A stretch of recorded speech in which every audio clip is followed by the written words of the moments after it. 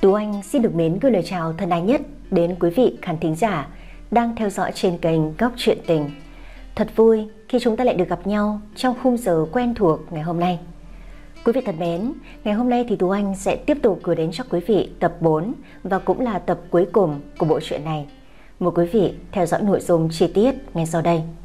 Quý vị cũng đừng quên ủng hộ cho Tú Anh bằng cách nhấn đăng ký kênh, nhấn vào biểu tượng chuông để nhận thông báo khi có chuyện mới like, chia sẻ video để mọi người cùng nghe chuyện và không quên để lại bình luận, ý kiến đóng góp để giao lưu và tương tác nhiều hơn cùng với đội ngũ kênh. Cảm ơn quý vị. Chúc quý vị có những giây phút nghe chuyện thư giãn. Kiều Doanh đã nhanh hơn Tần Minh Hạo một bước mà chạy đến bên cạnh Linh Vi. Này, cô sao thế, Linh Vi? Sao tự dưng lại ngất xỉu trước nhà thế này? Để tôi đưa cô đến bệnh viện nha. Đến khi Linh Vi tỉnh dậy, Đã thấy mình ở trong bệnh viện rồi. Kiều Tuấn đúng lúc đó Cũng đi vào trong phòng bệnh.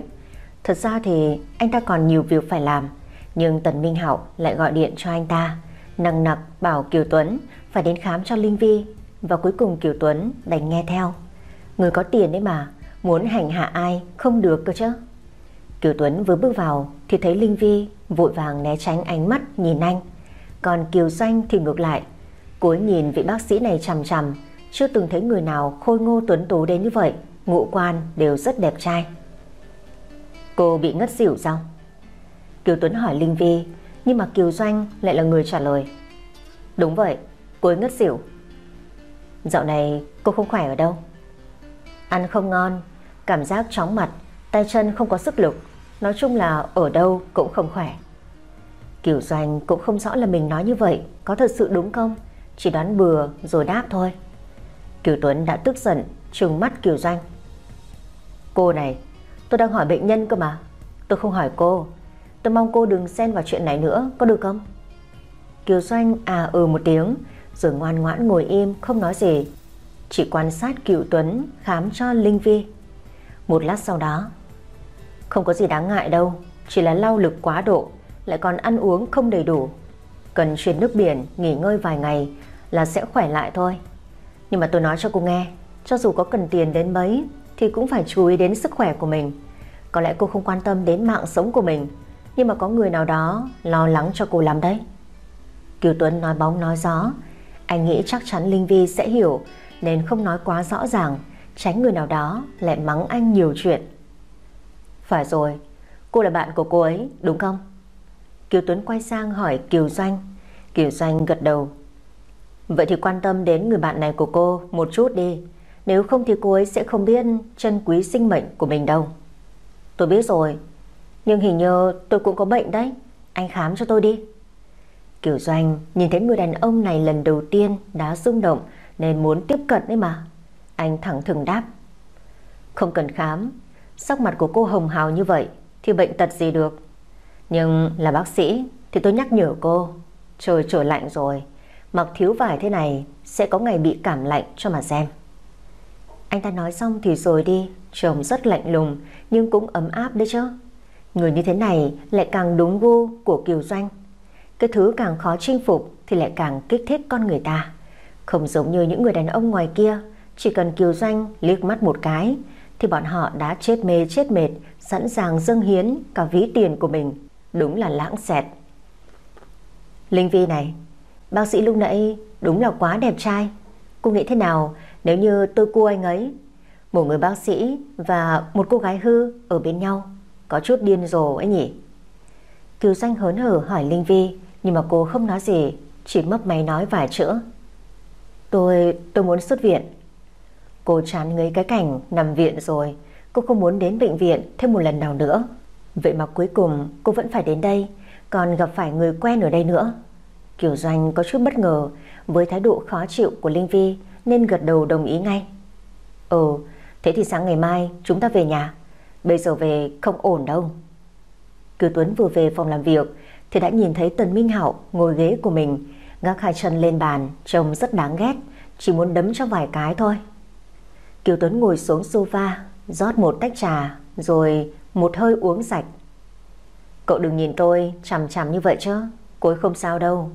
Chỉ có điều lao lực quá dẫn đến kiệt sức hay bỏ bữa nên là ngất xỉu. Nói ra thì hai vợ chồng cậu cũng giống nhau quá đấy. Đều không biết quý trọng mạng sống của mình. Người làm bác sĩ như tôi hết cách. Mà dạo gần đây cô ấy làm nhiều công việc lắm sao? Làm sao mà lại quen được cô gái như vậy chứ? Nhìn cách ăn mặc không phải dạng vừa đâu cũng không phải là con gái, Không ra gì đó. Cậu cẩn thận, Coi chừng cô vợ nhỏ bé của cậu Sẽ bị cô gái kia dạy hư đấy. Bạn cùng phòng, Cũng không đến nỗi như cậu nói. Tôi có điều tra cô ta rồi, Ngoài ăn chơi ra thì vẫn còn trong sạch lắm, Không dính dáng gì đến pháp luật, Cũng không ăn nằm với đàn ông để mà kiếm tiền. Tần Minh Hảo bỏ hai chân xuống, Lấy trong túi ra một điếu thuốc. Vậy sao? Như vậy mà là trong sạch à? Kiều Tuấn bĩu môi. Tần Minh Hạo phì phèo điếu thuốc trong tay, rồi đáp. Là cậu có thành kiến với những cô gái đó quá thôi. Không phải ai cũng giống ai. Sao thế? Cô ta định câu dẫn cậu à? Khóe môi của Minh Hạo phì cười gian xảo. Kiều Tuấn tức giận đi đến, dập tắt điếu thuốc trong tay của Minh Hạo. Ở trong bệnh viện thế này, Cậu muốn chuông báo cháy kêu lên inh ỏi đấy à? Anh ngả người vào ghế sau, dùng ánh mắt mang theo ý cười nhìn Kiều Tuấn. Tôi sẽ không bao giờ bị loại phụ nữ đó làm cho điên đảo đâu. Tôi là ai chứ? Là Kiều Tuấn đó. Cậu lại dám xem thường tôi như vậy à? Kiều Tuấn ngồi lên bàn, hai tay khoanh trước ngực, khẳng định chắc chắn. Nhưng mà Tần Minh Hạo chỉ ồ lên với dáng vẻ khiêu khích, rõ ràng là không tin. Trên đời này không thể nào nói trước được điều gì Đặc biệt cái được gọi là tình yêu kia Tần Minh Hạo, Không phải là một ví dụ quá điển hình hay sao? Trước đây anh cũng từng cho rằng Bản thân mình sẽ chẳng bao giờ yêu Loại người giống như Đặng Linh Vi. Bây giờ thì sao chứ? Không phải là anh đang khổ sở Vì tình yêu sao? Suy cho cùng, hình mẫu lý tưởng là một chuyện, Còn yêu đương ai lại là một chuyện khác, Hoàn toàn khác. Sáng hôm sau, Kiều Doanh đã làm thủ tục xuất viện cho Linh Vi. Nhưng mà trước khi rời khỏi bệnh viện Cô ấy còn cố tình đến tìm Kiều Tuấn Để hỏi về việc chăm sóc bệnh nhân như thế nào Sau khi về nhà Kiều Tuấn đã trả lời rất tận tình Chỉ là Kiều Doanh cứ lo nhìn anh ta chăm chăm Nên không chú ý gì đến lời nói của anh ta cho lắm Cô cảm thấy Kiều Tuấn là một bác sĩ cực kỳ ưu tú, đẹp trai, rất quan tâm đến bệnh nhân. Cho dù có nhìn theo phương diện nào thì cũng không tìm ra được điểm che. Nhưng mà một người đàn ông ưu tú như vậy khiến cho Kiều Doanh có chút căng thẳng. Cặn bã thì cô đã tiếp xúc nhiều rồi, chứ còn thần thánh kiểu này thì khó gặp, hiếm có. Cái gọi là mây tầng nào gặp mây tầng đó rất chính xác. Này, cô có thật sự đang nghe tôi nói không thế? Kiều Tuấn cau mày hỏi, có chút lớn giọng khiến cho Kiều Doanh bừng tỉnh. À, tôi nghe rồi, Tôi cũng hiểu cả rồi Cảm ơn anh nha bác sĩ Tôi tôi đi trước đây Trước khi Kiều Doanh rời đi, Còn nháy mắt và mỉm cười Với Kiều Tuấn một cái. Khi mà cô đi xa rồi, Anh mới hử lạnh. Thật không muốn nói chuyện với cô ta. Vừa trở về đến phòng bệnh Thì Linh Vi đã hỏi, Cô đi đâu thế, Kiều Doanh Không có gì đâu, Chúng ta về nhà thôi. Hôm nay tôi sẽ không ra ngoài, Ở nhà chăm sóc cho cô. Cô hãy nếm thử tay nghề nấu nướng của tôi nhé Kiểu doanh khoác tay lên vai của Linh Vi Cùng cô rời khỏi bệnh viện. Hai ngày trôi qua, Linh Vi đã khá hơn. Cô tiếp tục đi làm. Nếu như cứ nghỉ ở nhà sớm thế này, Thì sớm muộn gì cô cũng mất việc cho mà xem. Không ngờ Phó Hải Thiên hẹn cô ra ngoài. Muốn từ chối cũng không thể nào từ chối được. Dù sao thì anh đã giúp đỡ cô rất nhiều Khi mà cô ở trong bệnh viện thời gian trước. Thậm chí ngày nào cũng trò chuyện cùng cô, Mặc dù cô không mở miệng nói câu gì. Vậy là cô cho địa chỉ Phó Hải Thiên đến đón cô. Ngồi trên xe Cả hai người đều không nói gì với nhau. Cũng may mà cuối cùng Phó Hải Thiên mở lời trước. Dạo này em ổn không? Thật sự không cần anh giúp đỡ gì sao? Chỉ cần em muốn Anh sẽ giới thiệu cho em Mấy người bạn của anh. Bọn họ mở rất nhiều nhà hàng, quán ăn, shop thời trang. Em vào đó làm việc Bọn họ sẽ không bạc đá em đâu. Em không sao Em đang sống rất tốt. Anh không cần phải bận tâm đâu. Thế còn anh, anh thế nào rồi Anh sao Đương nhiên là rất tốt Có điều dạo này quá bận rộn Anh vừa về nước không lâu Muốn được các cổ đông tin tưởng Phải cố gắng làm việc nhiều hơn chứng minh thực lực cho bọn họ thấy. Hôm nay có thời gian rảnh được ra ngoài hít thở nên hẹn em đi chơi đây. Đi chơi sao? Đúng vậy. Lúc nhỏ anh nhớ là em nói em muốn đến khu vui chơi. Thời gian đã qua lâu như vậy, em có còn muốn đến đó không? Hai mắt của cô phát sáng. Đúng là từ nhỏ cô đã rất muốn đến khu vui chơi rồi, có điều không được đi. Cho đến tận bây giờ vẫn chưa có cơ hội. Khu vui chơi vẫn là một nơi khiến cho cô tò mò, muốn đến thử một lần trong đời. Cô không ngờ Phó Hải Thiên vẫn ghi nhớ những lời cô nói lúc còn nhỏ.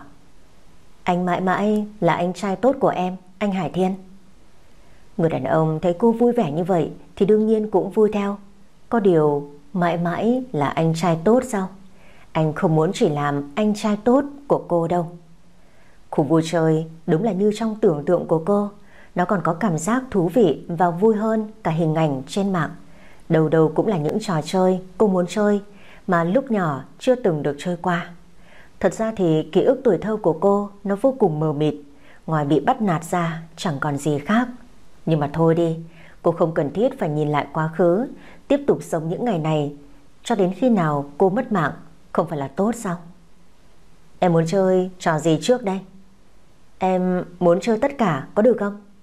Được chứ, anh sẽ chơi cùng em. Vậy là Phó Hải Thiên nắm tay Linh Vi, dắt cô đi giống như là đang dắt một đứa trẻ con. Từ khi bắt đầu, Tần Minh Hạo đã theo đám đông mà đi theo hai người. Anh nhìn thấy cô vui vẻ chơi vòng quay ngựa gỗ, anh cũng cảm thấy rất vui. Đã lâu lắm rồi, Minh Hạo không nhìn thấy nụ cười trên gương mặt của cô nữa. Anh nhìn thấy gương mặt sợ hãi của cô khi mà chơi tàu lượn siêu tốc, không khỏi bật cười, cảm thấy cô rất thú vị. Linh Vi chơi trò nào anh cũng sẽ đi theo, dõi đằng sau cô, nhìn cô tươi cười. Có điều Phó Hải Thiên khiến cho anh vô cùng trướng mắt. Anh ta cứ cười cười nói nói, động tay động chân, đúng là chán sống rồi. Sau khi trở về, anh nhất định sẽ khiến cho Phó Thị gặp khủng hoảng để xem là Phó Hải Thiên còn có thời gian ra ngoài chơi cùng với cô không. Phó Hải Thiên mở nắp chai nước ra đưa cho Linh Vi. Em có mệt không? Sau đó còn lau mồ hôi trên trán cho cô, vô tình lại chạm vào vết sẹo ở trên trán. Cô nhanh chóng lùi lại. Thật ra thì vết sẹo đó cô dùng tóc để che lại, không muốn người ta nhìn thấy. Nói là tự ti thì cũng không phải. Có điều vết sẹo này thật sự là chẳng đẹp đẽ gì. Che được thì cứ che thôi. Em có muốn ăn kẹo bông gòn không? Anh đi mua cho em nhé. Cũng được, em vẫn thích ăn đồ ngọt như vậy. Phó Hải Thiên xoa đầu cô rồi nhanh chóng đi mua kẹo bông gòn. Sau đó Phó Hải Thiên đi rồi, cô chợt nhìn thấy một đứa trẻ đang đứng khóc lóc. Cô định đến xem thử thế nào thì mẹ của bé đã tìm được bé, ôm đứa con vào trong lòng an ủi. Trong lòng cô nhìn cảnh này mà dâng lên một cảm giác nghẹn ngào. Nếu lúc trước khi mà cô khóc cũng có người ôm cô vào trong lòng như vậy thì tốt quá. Nếu như cô có con, cô sẽ vô cùng yêu thương con, không để cho nó giống cô đâu. Có điều đáng tiếc quá.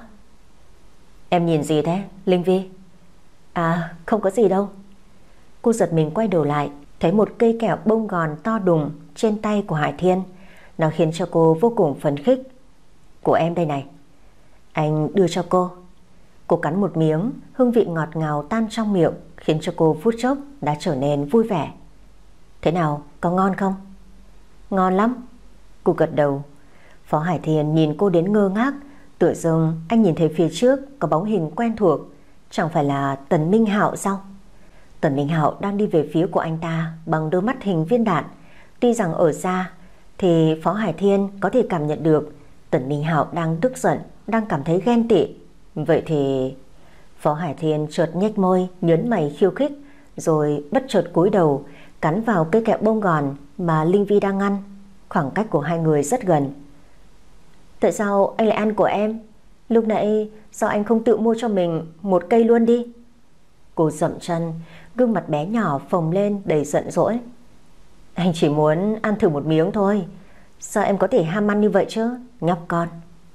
Phó Hải Thiên xoa đầu cô, Ánh mắt thì nhìn về phía của người đàn ông đang đứng đằng xa. Đúng là kỳ cục. Nếu như anh còn tiếp tục như vậy thì em giận anh đấy, Hải Thiên. Tần Minh Hạo nhìn thấy cảnh tượng hai người vui vẻ bên nhau thì trong lòng bừng bừng lửa giận. Lại còn dám khiêu khích mình sao? Được lắm. Vậy thì không cần phải chờ đợi Đến khi mình trở về nữa Tần Minh Hạo lập tức rút điện thoại Từ trong túi quần, Gọi cho một số máy. Một lúc sau, Hai người đã ra khỏi khu vui chơi, Cùng nhau đi dạo ở trên đường. Phó Hải Thiên bỗng dưng nhìn cô Bằng ánh mắt nghiêm túc, lên tiếng. Thật ra, anh có chuyện này muốn nói với em, Linh Vi. Cho dù em có chấp nhận hay không, Thì anh vẫn muốn nói cho em biết. Anh có thể chờ đợi được. Linh Vi có chút ngơ ngác. Sao thế? Anh có chuyện gì thì cứ nói đi. Không cần phải nghiêm trọng đến mức như vậy đâu. Anh, Thật ra thì anh Anh đã thích em. Phó Hải Thiên vốn dĩ đã nói ra được, Nhưng mà đúng lúc này chuông điện thoại cắt ngang. Anh ta vốn không định nghe, Nhưng có điều là công ty gọi đến, Thế cho nên vẫn phải nghe. Em chờ anh một chút nha. Cô gật đầu. Một lúc sau đó, Phó Hải Thiên quay lại, Sắc mặt vô cùng u ám. Dường như là đang tức giận chuyện gì đó. Công ty có chuyện cần giải quyết, Anh phải đi rồi. Nhưng mà chỗ của em hơi xa, Công ty anh phải làm thế nào đây? Người đàn ông tỏ ra băn khoăn. Không sao đâu, em tự về được mà. Anh có việc cần giải quyết thì cứ đi đi. Ngại quá, Anh đưa em đi chơi, Mà cuối cùng lại để cho em tự về thế này. Không sao đâu, thật đấy. Vậy anh đi trước nha Em về cẩn thận. Anh yên tâm để cho Linh Vi tự về một mình như vậy Là bởi vì anh biết rằng Tần Minh Hạo Vẫn còn đi theo ở đằng sau. Anh tin chắc chắn rằng Minh Hạo sẽ bảo vệ tốt cho Linh Vi. Dù sao thì Phó Hải Thiên cũng nhận ra được rằng Người đàn ông kia thật lòng yêu Linh Vi. Khi mà Linh Vi trở về nhà, Trời cũng lờ mờ tối. Cô vừa đi vừa thở dài, Hôm nay lại phải nghỉ làm. Vẫn là do cô quá ham vui rồi. Cô đang đi trên đường Thì tự dưng có ai đó kéo cô Vào trong một con hẻm rồi cưỡng hôn. Chúa đất ơi là biến thái sao? Cô đẩy người đó ra Nhưng đã bị nắm chặt hai cổ tay Đưa lên chân đỉnh đầu Ép sát vào tường. Cô vốn định tiếp tục phản kháng Nhưng mà cô nhận ra Nụ hôn này, hương vị này Tại sao lại vô cùng quen thuộc Khiến cho cô dần dần bắt được nhịp với người đó. Cô mở mắt to ra Để nhìn người đàn ông Quả nhiên là Tần Minh Hạo. Cô nhân lúc anh thả lỏng, đẩy anh ra, Rồi giáng cho anh một bạt tay Tiếng âm thanh chát vang lên, Nghe rất rõ ràng Thật sự là rất đau đớn, Nhưng mà Tần Minh Hạo lại mỉm cười nhìn cô Có đau tay không? Em tát anh như vậy, Chắc là cũng đau lòng lắm, Có đúng không? Anh giễu cợt cô Anh bị điên rồi, đúng không? Cô thật sự là rất tức giận, Nhưng mà ánh mắt nhìn anh Lại không thể hiện sự căm phẫn hay ghét bỏ Đúng vậy, cô không hiểu sao bản thân mình lại bị nụ hôn bàn nãy mê hoặc. Đúng vậy, anh điên rồi, Linh Vi. Anh giống như phát điên khi mà nhìn thấy em đi cùng với người đàn ông đó, em có biết không? Anh thật sự ghen tị, anh căm ghét bản thân mình đã trở nên ích kỷ như thế. Anh muốn em là của riêng anh, bởi vì anh yêu em, anh rất yêu em, Linh Vi. Anh nói mà giống như gào thét gào thét trong tuyệt vọng và đau khổ. Anh theo dõi em. Cô lạnh nhạt hỏi lại. Giọng nói của anh ỉu xìu không còn sức sống. Anh, anh không phải như vậy đâu. Nhưng cũng đúng. Cứ cho là như vậy đi, không sai. Tại sao anh có thể làm như vậy chứ? Chúng ta kết thúc rồi. Anh theo dõi em để làm gì? Anh có cảm thấy mình biến thái không? Cả hành động ban nãy nữa. Anh chưa từng nói về em anh là chính nhân quân tử, bao giờ cả? Anh... Tóm lại là em mặc kệ. Lần này bỏ qua. Nếu tiếp tục có lần sau, Thì anh đừng trách em, báo cảnh sát đấy. Nói xong thì cô rời đi. Anh lớn giọng nói với cô. Trời lạnh rồi đấy. Em mặc thêm nhiều áo vào. Đừng để cho mình bị cảm lạnh nhé Cô nghe thấy như vậy Thì chỉ mím chặt môi, Tiếp tục bước đi Trong đầu cô đang nghĩ. Cần anh phải quan tâm cho em sao? Khi mà Tần Minh Hạo đứng một mình ở đó, anh thở dài, cảm thấy bản thân mình đúng là quá khích rồi. Tại sao lại không biết kiềm chế, làm như vậy với cô chứ? Linh Vi trở về nhà, chạy lên trên phòng, cuộn chặt mình trong chăn. Cô cảm nhận rõ ràng từng nhịp đập của trái tim, đó không phải là vì nụ hôn lúc nãy sao? Sau quá nhiều chuyện xảy ra, không ngờ cơ thể cô vẫn bị người đàn ông đó làm cho rung động, thậm chí là mặt cô đang đỏ lên bừng bừng như quả cà chua. Tại sao cô lại như thế? Chỉ có một nụ hôn mà đã khiến cho ý chí của cô giảm đi trầm trọng đến mức này rồi sao? Tối hôm đó, vì buồn bực, Thế cho nên Tần Minh Hảo đã kéo Kiều Tuấn đến quán bar uống rượu. Này, cậu lại có chuyện gì không vui đấy à? Lại vì cô vợ bé nhỏ của cậu, có đúng không? Sao mà cậu cứ phải khổ thế? Hỡi tình ơi, Tình là chi mà khiến cho Có câm miệng được chưa? Kiều Tuấn còn chưa nói xong Thì đã bị ánh mắt sắc lạnh của người đàn ông Lườm cho một cái, khiếp sợ. Không đúng à? Cậu là người hẹn tôi ra đây, Bây giờ lại dám bảo tôi câm miệng sao? Bạn bè, Cái kiểu gì thế? Cậu xem tôi là nô lệ của cậu đấy à? Bảo đến là đến, Còn mắng là đi chắc. Kiều Tuấn vô cùng bất mãn, Dù sao cũng là bạn bè lâu năm, Mà chẳng có bao giờ Tần Minh Hảo Thật sự đối xử tốt với anh ta. Thôi vậy vì tâm trạng của cậu không tốt, Cho nên tôi không chấp nhặt với cậu. Kiều Tuấn cuối cùng nâng ly rượu, Nhìn xung quanh, tự tìm kiếm thú vui. Không ngờ lại có thú vui thật nha. Này này Tần Minh Hảo, Đó không phải là cô bạn cùng phòng của Linh Vi sao? Thấy chưa? Tôi nói có sai đâu. Không những hút thuốc, uống rượu, Mà còn gạ gẫm đàn ông kia kìa. Sớm muộn gì Linh Vi của cậu Cũng bị cô ta dạy hư cho mà xem. Nghe Kiều Tuấn nói như vậy Tần Minh Hạo ngừng đầu lên Nhìn thử một cái Quả thật là Kiều Doanh tay đang cầm ly rượu Còn hai ngón tay thì kẹp điếu thuốc hớn hở nói chuyện với một người đàn ông. Nhưng mà Tần Minh Hạo cũng chỉ ồ à một cái. Anh tin tưởng Linh Vi tuyệt đối, cô sẽ không bao giờ học theo những thứ vô bổ này đâu. Ồ cái gì mà ồ? Tôi giống đang nói đùa lắm à? Cậu làm gì mà có vẻ để ý cô ta thế? Cứ tìm điểm xấu để mà châm biếm mãi thôi. Tôi thấy cậu đừng làm bác sĩ nữa. Làm mấy bà cô già dưới quê sẽ phù hợp hơn. Mang mấy con cá ra chợ bán đi. Tần Minh Hạo nhếch mép, Lấy ra điếu thuốc rồi châm lửa. Kiều Tuấn phát cáu. Cậu nói như vậy là có ý gì? Tôi làm thế là vì ai chứ? Còn không phải là vì tôi sợ vợ của cậu Bị người kia rủ dê đến hư hỏng à? Ừ thì cứ cho là vậy đi. Tần Minh Hạo chỉ thờ ơ nói như vậy. Ngày hôm sau, Trong đầu Kiều Doanh hiện lên hình bóng của tên bác sĩ kia. Thậm chí là mọi lúc mọi nơi, Kiều Doanh đều nhớ đến. Cứ như là cô ấy bị bỏ bùa mê thuốc lú rồi. Không, Cô ấy vậy mà đã thích tên bác sĩ kia Thật rồi sao?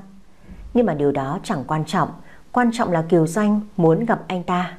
Cô ấy đã viện cớ bị ốm, Đến bệnh viện tìm Kiều Tuấn. Kiều Doanh đi vào phòng khám của Kiều Tuấn. Khiến cho Kiều Tuấn có chút bất ngờ Mà nhìn Kiều Doanh. Cô đến đây làm gì? Giọng nói của bác sĩ có chút lạnh nhạt, Hình như là không hoan nghênh bệnh nhân này cho lắm, Hoặc có thể đúng là lạnh nhạt thật. Nhưng mà cô không quan tâm, Trực tiếp đi đến trước mặt của Kiều Tuấn. Đến bệnh viện, Đương nhiên là để khám bệnh rồi, Chứ còn làm gì nữa. Ngồi xuống trước đi. Cô nói xem cô bị làm sao mà đi khám. Tôi tên là Kiều Doanh. Tôi đang hỏi triệu chứng Không hỏi tên. À tôi bị làm sao ư? Chắc là đau đầu buồn nôn. Đúng rồi, chính là cảm giác không có khẩu vị. Cơ thể mệt mỏi lắm Cứ ăn vào là nôn ra hết. Anh thử nói xem Tôi như vậy là bị làm sao?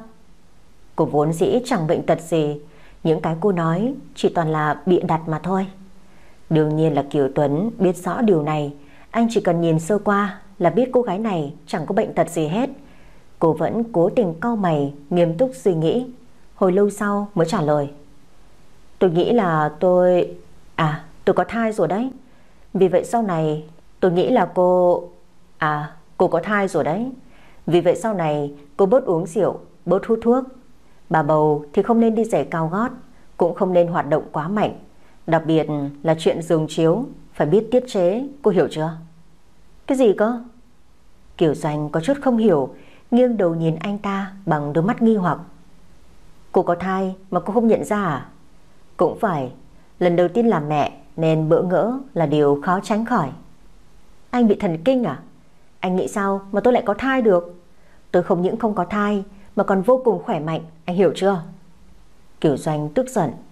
Thấy cô như vậy, Kiều Tuấn mỉm cười, giọng nói vô cùng lạnh nhạt.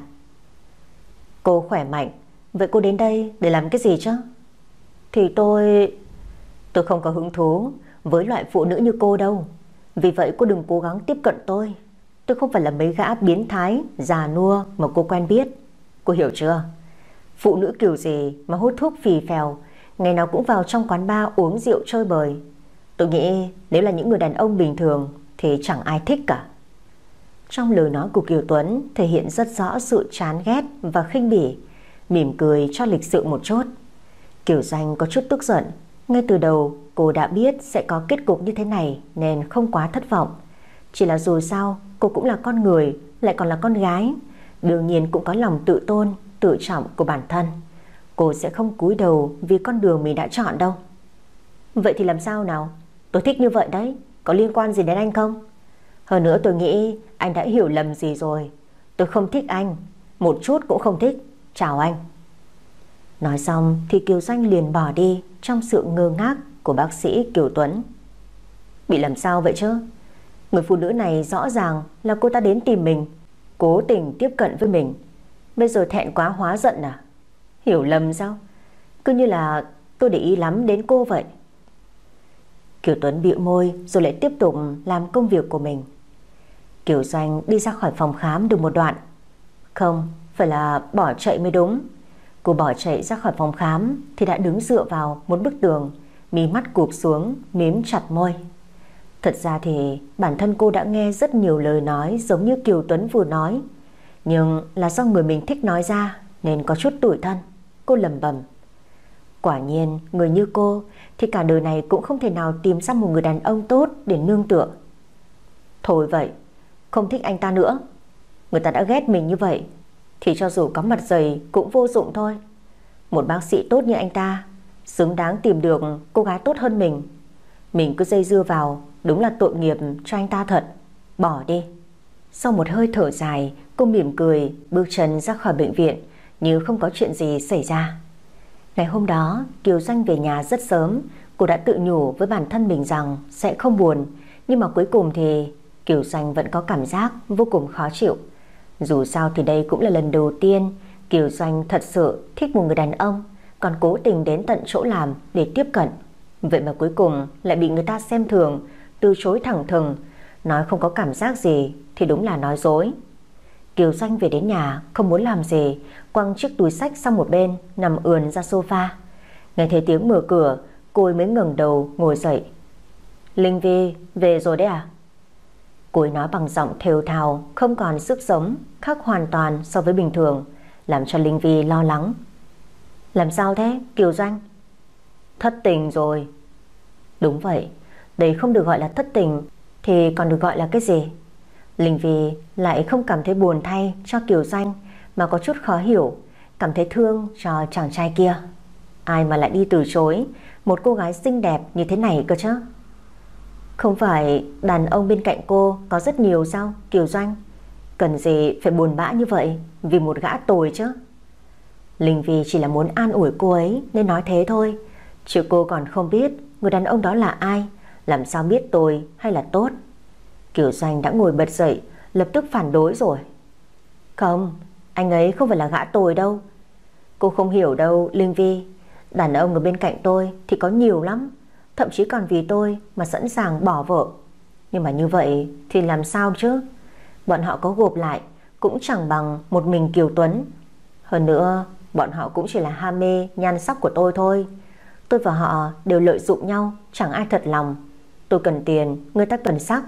Làm sao có thể lấy họ ra Để mà so sánh với người tôi đang thích? Linh Vi nghe đến hai chữ Kiều Tuấn Thì có chút ngạc nhiên. Cô đã nhanh chóng nhớ lại. Hôm đó, khi mà ở trong bệnh viện, Ánh mắt Kiều Danh nhìn Kiều Tuấn, Đúng là rất khác. Có lẽ đây chính là cái được gọi là Yêu từ cái nhìn đầu tiên. Chẳng lẽ anh ta không thích cô sao? Kiều Tuấn đấy Đúng vậy. Nhưng mà tôi cũng không trách Kiều Tuấn. Tôi hiểu là bản thân mình đã trèo cao rồi. Người như tôi mà lại muốn đi tìm hiểu một người đàn ông tốt thì làm sao được. Chỉ là có chút buồn thôi. Kiều Doanh thở dài cúp mi mắt. Một giây sau đó đã phấn chấn đứng dậy nắm tay của Linh Vi. Này, hay là cùng tôi đi uống rượu đi. Đến quán bar trong khuya khỏa, tôi mời cô. Sao cơ? Đi mà, có tôi thì lo cái gì? Hơn nữa, cô cứ đi làm về Ngày nào cũng lặp đi lặp lại như một cái máy có gì thú vị đâu Lâu lâu cũng phải ra ngoài giải trí chứ Nhưng mà tôi... Cô còn chưa kịp phản đối thì Kiều Doanh đã kéo Linh Vi lên phòng của cô ấy, Chọn ra bộ váy hở bạo Rồi cho cô xem thử. Thấy bộ này thế nào, Linh Vi? Cô lập tức đỏ mặt, Không chỉ là rất ngắn mà lại còn hở lưng, Hở đằng trước nữa. Làm sao cô có thể mặc loại váy thế này? Thôi, tôi không phù hợp Với những bộ váy kiểu này đâu, Kiều Doanh. Linh Vi lắc đầu lia lịa, Có chết cô cũng không mặc đâu. Nhưng mà Kiều Doanh thì vô cùng kiên quyết. Cũng phải. Thế thì bộ này đi. Bộ này là bộ kín đáo nhất Trong tủ quần áo của tôi rồi. Không được phép từ chối.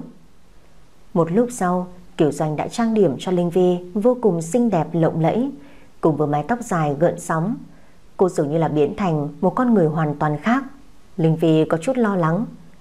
Son môi thế này có có đậm quá không nhỉ? Không đậm, đẹp lắm. Bộ váy này hình như là hơi ngắn rồi, lại còn hở vai nữa. Tôi... Cái gì? Thế này thì có gì mà hở? Mà tại sao cô lại ngoan ngoãn như vậy chứ? Cô còn tiếp tục ngoan ngoãn, hiểu chuyện thì sẽ càng thiệt thòi thôi. Chúng ta sinh ra là phụ nữ, đã là phải yếu rồi, lại còn khúm núm, cúi đầu thì càng dễ bị bắt nạt. Cho nên cô phải ngẩng cao đầu lên, tự tin lên. Cô rất xinh đẹp, chẳng có gì phải tự ti, che giấu cả. Kiều Doanh nâng cầm của Linh Vi lên, nhếch môi đầy tự tin. Nhưng mà nhìn đi nhìn lại, cô có cảm giác là cô đang bắt nạt Linh Vi vậy. Đừng nhìn tôi bằng ánh mắt long lanh như vậy. Cô khiến cho tôi cảm thấy mình giống như con ác ma đang dụ dỗ thiên thần vào bẫy. Một lúc sau đó thì hai cô gái đã có mặt trong quán bar. Hai cô gái xinh đẹp vừa bước vào đã khiến cho tất cả đàn ông phải nhìn về bên này bằng đôi mắt khát khao. Thậm chí là còn có vài tên biến thái cố tình bước đến để làm quen. Có điều hôm nay Kiều Doanh đến đây không phải để chơi đùa với bạn họ. Đúng là một lũ đàn ông vô vị. Cút đi, đừng để cho bà đây nóng tính đấy. Kiều Doanh chỉ vừa trừng mắt với bọn họ thì bọn họ đã không dám manh động. Kiều Doanh là khách quen của chỗ này, ai mà không biết cô có quen với ông chủ quán bar. Linh Vi có chút không thoải mái Vừa vào đây đã muốn đi về ngay Chúng ta phải ở lại đây bao lâu chứ? Không say không về, Bao lâu thì chưa biết. Kiều Doanh mỉm cười đáp. Linh Vi vừa ngồi xuống ghế, Kiều Doanh đã kêu phục vụ Đem đến ba chai rượu. Có lẽ không phải loại nhẹ rồi. Kiều Doanh rót ly rượu đưa cho Linh Vi.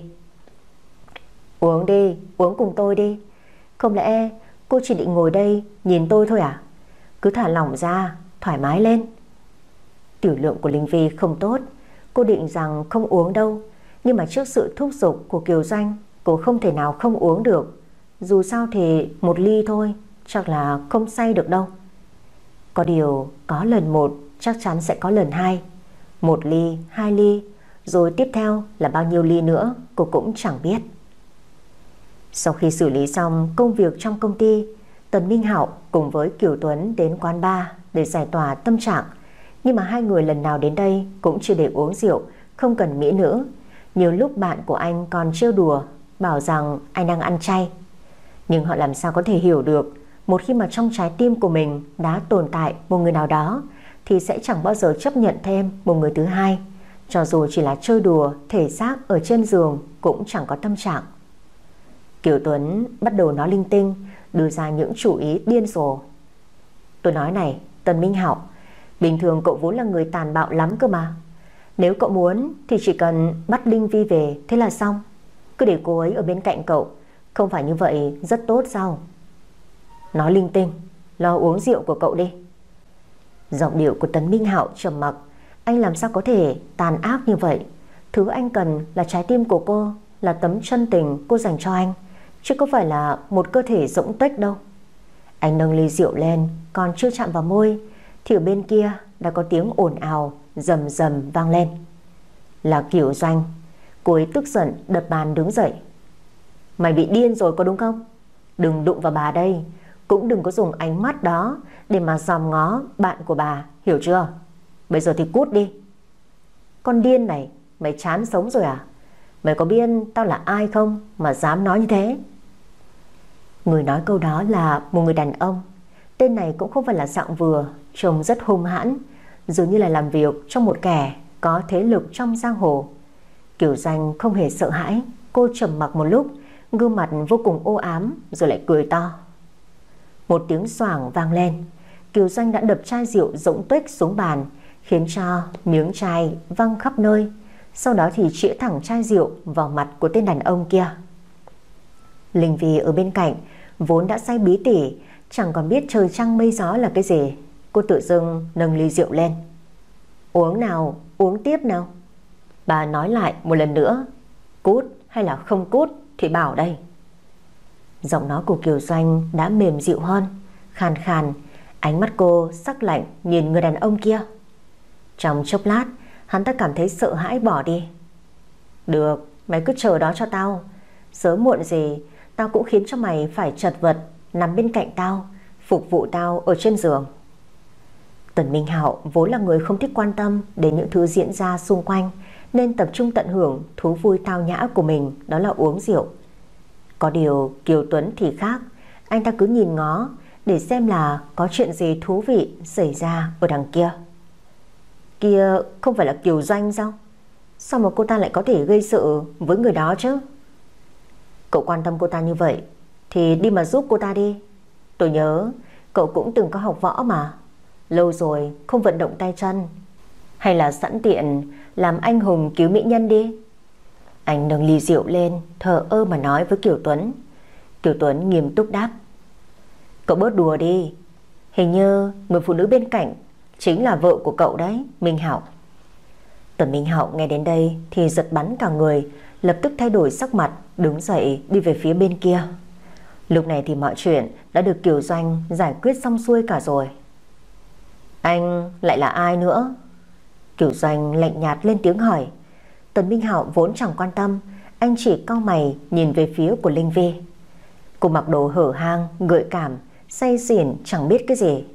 Người phụ nữ này đúng là khiến cho anh không thể nào yên tâm được một ngày. Anh nhanh chóng cởi áo vest ra, đắp lên người cho cô, rồi đưa cô ra khỏi quán bar. Trước sự ngơ ngác của Kiều Doanh, Kiều danh vốn không biết Tần Minh Hạo, cố định đuổi theo thì đã bị Kiều Tuấn ngăn cản. Này, anh là ai? Anh định đưa cô ấy đi đâu chứ? Thôi, người ta là chồng của Linh Vi đấy, cô không cần phải quan tâm nhiều thế đâu. Cái gì? Chồng? Tôi chưa bao giờ nghe cô ấy nhắc đến chồng mình. Các người lấy cái gì ra để mà chứng minh? Kiều Doanh hùng hồn mà quát vào mặt của Kiều Tuấn. Anh ta lại nói sang chủ đề khác. Lúc nãy cô có bị miếng thủy tinh nào làm cho mình bị thương không đấy? Tôi... Kiều Doanh tức giận, nhưng mà không thể nào nói nên lời. Bây giờ chỉ cần nhìn thấy Kiều Tuấn là Kiều Doanh lại cảm thấy khó chịu, nhớ đến những lời mà anh đã từng nói với mình. Cô chính là rất ghét, ở cùng với người ghét mình. Cô đẩy Kiều Tuấn ra, rồi loạn trọng đi ra khỏi nơi ồn ào này. Tần Minh hảo không đưa Linh Vi về căn nhà cô đã thuê mà trực tiếp đưa cô trở về biệt thự của mình. Anh bế cô lên phòng, đặt cô lên giường rồi cẩn thận tháo giày ra cho cô, sau đó ngồi xuống bên cạnh. Anh không bật đèn, ánh trăng huyền nào đã giúp cho anh nhìn rõ gương mặt xinh đẹp này. Đây chính là lần đầu tiên anh nhìn thấy cô trang điểm đậm như thế, cũng là lần đầu tiên anh nhìn thấy cô ăn mặc hở hang. Thật ra anh cũng chẳng kỳ thị gì đâu Cũng chẳng cảm thấy phản cảm Bởi vì những cô gái mà anh từng gặp còn ăn mặc thiếu vải hơn Thế này rất nhiều. Chỉ là cô xinh đẹp như vậy, Quyến rũ như vậy, Anh không thể nào để cho những người đàn ông khác dòm ngó cô. Chỉ có thể là anh, Chỉ có anh mới được phép nhìn ngắm cô thôi. Cô mãi mãi phải thuộc về Một mình Tần Minh Hạo. Anh chạm vào mái tóc của cô vuốt vuốt, Nhẹ nhàng đặt đôi môi lên vết sẹo ở trán. Anh chẳng cảm thấy nó xấu xí một chút nào cả. Mà ngược lại, mỗi lần nhìn thấy nó, Anh lại cảm thấy rất đau lòng, Rất tự trách. Anh đã xem lại camera vào đêm hôm đó. Cô quả thật là đã nhìn thấy cảnh tượng Dưới gầm gửi xe. Cho nên mọi chuyện mới thành ra như vậy. Nếu ngay từ đầu anh biết Tất cả mọi chuyện là kế hoạch của Đặng Tử San, Thì anh đã dứt khoát Không nói chuyện với cô ta, Cho dù chỉ là nửa câu. Đáng tiếc, không còn nếu như Tự dưng Linh Vi ôm lấy bàn tay của anh khiến cho anh vô tình chạm vào vòng một của cô. Cảm giác giống như có một dòng điện rất mạnh chạy qua cơ thể. Anh vội vàng rút tay lại. Ánh mắt thì không ngừng nhìn chằm chằm vào bắp đùi trắng nõn của cô. Anh nuốt xuống một ngụm nước bọt. Có lẽ vì từ khi Linh Vi rời đi, anh đã cấm cơ thể của mình khá lâu, cho nên trở nên nhạy cảm. Sự thèm khát, dạo dực, khát khao chỉ xuất hiện khi mà anh nhìn thấy cô thôi. Còn đối với những cô gái khác chẳng có phản ứng gì cả. Có điều, cho dù có khát khao đến cỡ nào thì anh cũng không thể nào lợi dụng một cô gái lưu cô đang say rượu. Tuy rằng anh chưa từng là chính nhân quân tử, nhưng anh cũng không thể nào để cho cô sau khi tỉnh dậy sẽ ghét anh cay đắng. Anh lập tức đứng dậy, định đi vào trong phòng tắm, tắm nước lạnh cho tỉnh táo. Thì lúc này Linh Vi bất chợt ngồi lên. Minh Hạo. Minh Hạo sao? Đã lâu rồi, anh chưa từng nghe cô gọi anh như vậy. Tần Minh Hạo siết chặt tay, cố gắng nhẫn nhịn, không quay lại nhìn cô. Anh sợ khi mà anh nhìn vào đôi mắt đó sẽ không thể nào kiềm chế. Anh... anh có còn ghét em không? Anh thật sự yêu em sao, Minh Hạo? Đây chính là những câu hỏi mà lúc tỉnh táo cô không dám hỏi bởi vì cô sợ bản thân mình là bị anh làm cho rung động, rất dễ dàng dẫn đến đau lòng thêm một lần nữa. Nhưng cô sợ cô không còn dũng cảm để mà hứng chịu những tổn thương nữa rồi. Cô không muốn anh chỉ xem cô là nhất thời, chỉ đơn giản là muốn chơi đùa rồi thôi. Rồi cô sẽ có kết cục giống như Đặng Tử San chăng? Anh đã từng nói anh rất yêu Tử San cơ mà. Yêu đến mức không nhìn lấy cô một cái nào. Vậy mà Tử San vẫn bị anh lạnh lùng đẩy vào trong ngục tối đấy thôi. Nếu sau này anh gặp cô gái khác tốt hơn cô, anh sẽ yêu cô gái đó. Vậy thì kết cục cho cô cũng chẳng phải giống như vậy hay sao? Em biết rõ mà, anh không hề yêu em như lời anh nói. Làm sao mà chị trong 15 ngày ngắn ngủi anh có thể yêu em cơ chứ? Gương mặt của Linh Vi đỏ ửng dưới ánh trăng, đôi mắt xa xăm hướng về phía người đàn ông đang đưa lưng về mình. Anh nghiến chặt răng, anh vốn chỉ muốn đưa cô về để mà chăm sóc cho cô, ấy vậy mà chết tiệt. Anh không nói không rằng quay người, rồi dùng những bước chân dài nhất, rồi đặt nụ hôn cháy bỏng lên môi của cô, gấp gáp đến mức cô không kịp thở nữa. Anh áp hai tay lên mặt cô, đặt chán mình lên chán cô, nắm chặt tay cô, đặt lên lồng ngực trái của mình. Linh Vi, anh yêu em. Tất cả mọi chuyện anh nói đều là sự thật. Nếu như em không tin, thì thời gian có thể chứng minh lời anh nói. Hơn nữa, anh xin em hãy cảm nhận đi, Linh Vi. Trái tim anh đang đập loạn lên vì em đây này. Đôi mắt anh chỉ có hình bóng của em thôi. Anh đã khắc ghi em trong tâm trí của mình. Bây giờ, sau này, thậm chí là mãi mãi về sau, cũng sẽ không bao giờ thay đổi. Mặt cô ửng đỏ, không biết là vì rượu hay là vì những gì Minh Hạo vừa nói. Nhưng cô là người hiểu bản thân mình hơn ai hết. Cô vẫn còn yêu anh, yêu đến chết đi sống lại, không thể nào ngừng lại. Em thật sự được phép yêu anh sao? Cô lầm bầm một câu rồi đặt nụ hôn lên môi của anh. Đối với Tần Minh hảo, bấy nhiêu đó là không đủ. Anh chế trụ cô xuống giường rồi cởi bỏ tất cả những gì vướng víu trên cơ thể của cô để lộ ra cơ bắp cuồn cuộn, sống động vô cùng của anh nữa. Mỗi lần cô gọi anh là Minh Hạo thì sự kiềm chế của anh giống như là hóa thành hư không. Minh Hạo, anh... Cơ thể anh dạo dực, đầu óc mụ mị, mùi hương trên cơ thể của cô khiến cho anh chìm vào trong mộng xuân, tự ý làm càn. Một tiếng soạt vang lên, anh đã mạnh tay xé chiếc váy của cô ra. Cơ thể cô thoát ẩn thoát hiện dưới sự mờ ảo của ánh trăng khiến cho anh càng thêm hưng phấn. Anh xin lỗi, anh không thể nào kiềm chế được nữa. Anh, anh muốn ăn sạch em. Anh muốn em mãi mãi là của anh thôi. Anh yêu em, Linh Vi. Lúc này đây ở một nơi khác, từ khi mà bước ra khỏi quán bar, Kiều Doanh muốn bắt taxi trở về, nhưng mà Kiều Tuấn cứ đi theo cô suốt thôi. Kiều Doanh lạnh lùng lên tiếng hỏi. Anh đi theo tôi để làm cái gì chứ? Đã chẳng còn Kiều Doanh dịu dàng như ban sáng nữa. Cô vẫn còn tỉnh táo quá nhỉ? Nhưng giờ này thì khó bắt taxi lắm đấy.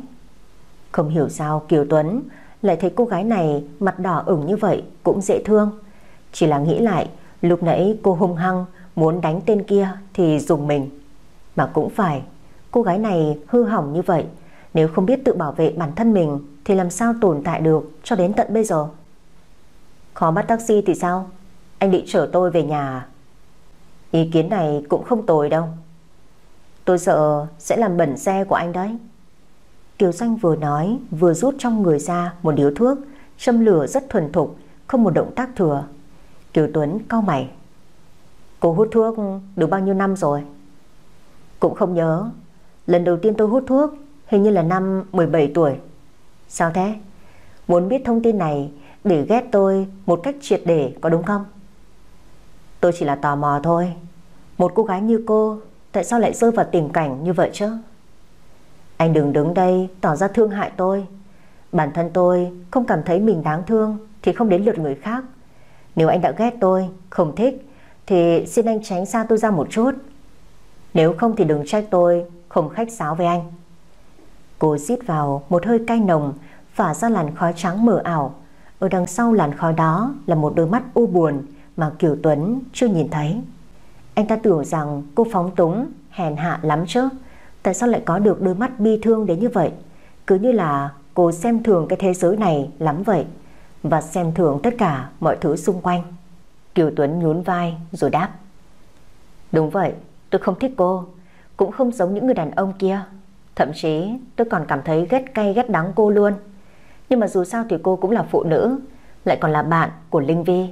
Mà Linh Vi thì là vợ của bạn thân tôi. Cho nên tôi cũng không thể nào bỏ cô giữa đường thế này. Anh ghét tôi, Cho nên đột nhiên muốn nói cho anh biết điều này, Khiến cho anh càng ghét tôi hơn, Ghê tởm tôi hơn. Chỉ như vậy tôi mới không hy vọng nữa. Kiểu doanh quăng điếu thuốc xuống đất, Dập tắt nó, Cô nở ra nụ cười Nhìn về phía người đàn ông bằng ánh mắt kỳ lạ. Miệng thì thầm nhưng mà có thể nghe rõ được từng chữ Mà cô thốt ra. Tôi từng bị cha dượng của mình Xâm hại đấy. Kiều Tuấn giật mình, Đồng tử giãn ra, Miệng mấp máy gì đó, Không thể nào nói thành lời. Sau khi mẹ tôi mất, Tôi còn bị bán vào trong quán bar, Làm gái bán hoa 3 năm. Nói thật là Tôi đã bị người ta chơi chán rồi. Ngay cả bản thân tôi còn chán ghét mình. Thì anh chẳng có lý do gì Phải thích tôi cả. Tôi biết chứ. Cô nói về điều này Mà miệng thì cười tươi như hoa. Cũng không biết đằng sau nụ cười đó Che giấu bao nhiêu sự bi thương, Đau đớn, Thậm chí là những ám ảnh Đã hằn sâu vào trong ký ức. Một cô gái xinh đẹp, mong manh như vậy, Làm sao có thể vượt qua được tất cả? Trong khi Kiều Tuấn chỉ cần nghe thôi, Trái tim đã đau đớn. Sao? Cảm thấy hối hận bởi vì đã nói chuyện với tôi, đúng không? Cũng phải. Chúng ta ở hai thế giới đối lập. Anh là bác sĩ, còn tôi chẳng khác nào một đứa làm gái. Cho nên tôi xin lỗi, lúc trước đã cố tình tiếp cận anh. Còn bây giờ thì xin anh tránh xa tôi ra. Một làn gió nhẹ nhàng trượt thổi qua, làm mái tóc ngang vai của Kiều Xanh phấp phới, ánh mắt hơi đỏ, dường như là vẫn còn say rượu nhưng cũng không phải là say. Tự dưng người đàn ông ôm cô vào trong lòng Kiều Tuấn cũng không biết tại sao Mình lại muốn ôm cô gái mỏng manh này nữa Không hiểu tại sao Anh lại có cảm giác Anh muốn bảo vệ cô khỏi thế giới tàn ác, Giúp cô thoát khỏi sự cô độc, Sự tổn thương khắc sâu trong tâm hồn Giọng nói của Kiều Doanh có chút nghẹn ngào Anh... anh bị làm sao thế? Tôi đã bảo anh đừng thương hại tôi rồi cơ mà Cô muốn đẩy anh ra, nhưng không nỡ rời xa sự ấm áp này. Đây chính là lần đầu tiên cô được cảm nhận sự bao bọc và che chở. Cảm nhận sự ấm áp là như thế nào? Đừng nói gì cả. Nếu như cô muốn khóc thì cứ khóc đi. Không cần phải kìm nén một cách khổ sở như thế đâu. Tại sao, tại sao anh lại như vậy chứ? Cô nước nở, cũng không biết là bao lâu rồi mình chưa khóc. Cứ tưởng rằng nước mắt của cô đã cạn từ lâu. Vậy mà không ngờ hôm nay tất cả đã bùng phát. Một ngày mới lại đến, ánh nắng mặt trời bắt đầu len lỏi vào trong căn phòng yên tĩnh. Đến giờ đi làm rồi. Linh Vi thều thào, đầu cô đau nhức đến nổ tung, khiến cho cô không thể nào mở mắt ra nổi. Phải đấu tranh tư tưởng, lăn lộn một hồi lâu, cô mới có thể ngồi bật dậy, vò đầu rứt tay, ngắp ngắn ngắp dài và cuối cùng mở mắt ra. Căn phòng này, đây là... Cô nhìn xung quanh rồi lại nhìn sang bên cạnh mình Tần, Tần Minh Hạo. Cô hét toáng lên rồi lại cúi xuống nhìn bản thân. Quả nhiên là không mảnh vải che thân.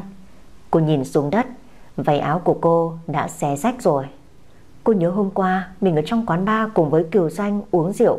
Sau đó Sau đó thì ký ức bị ngắt quãng. Không hiểu tại sao lại đến biệt thự của Tần Minh Hạo Rồi cùng anh lăn giường thế này. Từng mảnh ghép ký ức dần dần hiện ra trong đầu cô. Cả những câu nói thoại giữa anh và cô, Thậm chí là cảnh... Nhưng đây không phải là lúc quan tâm đến những điều đó. Cô nhanh chóng bước đến tủ quần áo, Lấy đại một bộ đồ. Cô cũng không ngờ là nó vẫn còn y nguyên ở đây. Đúng vậy, Cả cách bài trí trong căn phòng này Vẫn nguyên như cũ. Cô nhanh chóng bước vào trong phòng tắm, Sau đó nhanh chóng bước ra, Chạy biến đi mất. Suốt cả quá trình đó, Tần Minh Hạo đã nhìn thấy cả Thật ra thì anh chỉ đang giả vờ ngủ, Để không khiến cho cô xấu hổ mà thôi. Khi tỉnh rượu, Cô vẫn chưa thật lòng mở cửa trái tim mình cho anh bước vào. Anh vẫn cần thêm một chút thời gian nữa Để mà thuyết phục cô. Còn lúc này đây, Ở trong một khách sạn nào đó, Kiều Doanh đã bị ánh sáng làm cho tròi mắt, Thức dậy. Cô ngồi dậy nhìn xung quanh, Nhìn thấy tên bác sĩ đang chống cằm ngủ sofa. Thì ra tối qua, cô khóc lóc quá thảm thiết. Đến mức mà ngủ thiếp đi từ bao giờ không hay. Thậm chí cô còn bị đưa vào trong khách sạn, Cũng chẳng biết gì. Cô lầm bầm Vẫn còn quần áo thế này, Chắc là chưa xảy ra chuyện gì đâu. Đương nhiên là chưa có chuyện gì xảy ra. Tôi thì có thể làm gì với cô được chứ? Người đàn ông mở mắt ra, Nhìn về phía của Kiều Doanh. Ánh mắt có chút khác so với ngày hôm qua, Không còn lạnh lùng, Làm cho người ta chán ghét. Kiều Doanh nghe như vậy thì nhún vai. Cho dù anh có làm gì Thì tôi cũng chẳng quan tâm. Tôi có phải là con gái còn trong trắng đâu, Còn gì để mất chứ? Cô nói như vậy là sao? Anh cau mày đứng dậy đi về phía cô. Cô mỉm cười, Nụ cười đầy mị lực quyến rũ, Giống như những cô gái đang cố tình gạ gẫm những người đàn ông khác. Ý trên mặt chữ đấy, Anh Kiều là người thông minh, Tại sao lại không hiểu tôi muốn nói cái gì? Cô đang cố tình. Lúc nào cũng tỏ ra ma mị, Lúc nào cũng muốn nói cho người khác biết, Cô là một cô gái hư hỏng. Dù sao thì cô đã chịu đủ rồi. Người ta nói cô thế nào Thì cô chính là thế đó. Cần gì tỏ ra người thừa vô tội, Như vậy thì người khác sẽ bảo cô trong sạch luôn sao? Đừng mơ. Bọn họ không cần biết quá khứ của cô Phải chịu những gì, Không cần biết cô đã từng đau khổ ra sao, Cũng chẳng cần phải biết để làm gì cả. Bọn họ chỉ nhìn cô Có vẻ bề ngoài rồi đánh giá Theo ý của mình Nhưng lần này Kiều Tuấn lại không cảm thấy ghê tởm, chán ghét mà vô cùng tức giận. Anh xài bước đến bên cô, chế trụ cô xuống giường. Kiều Tuấn là một người hay cợt nhả, nửa đùa nửa thật, rất ít khi nào tức giận thật sự. Nhưng lần này thì trong ánh mắt của anh hằn lên tia máu, nổi gân cổ, gắt gỏng nói với cô. Xem ra anh tức giận thật rồi.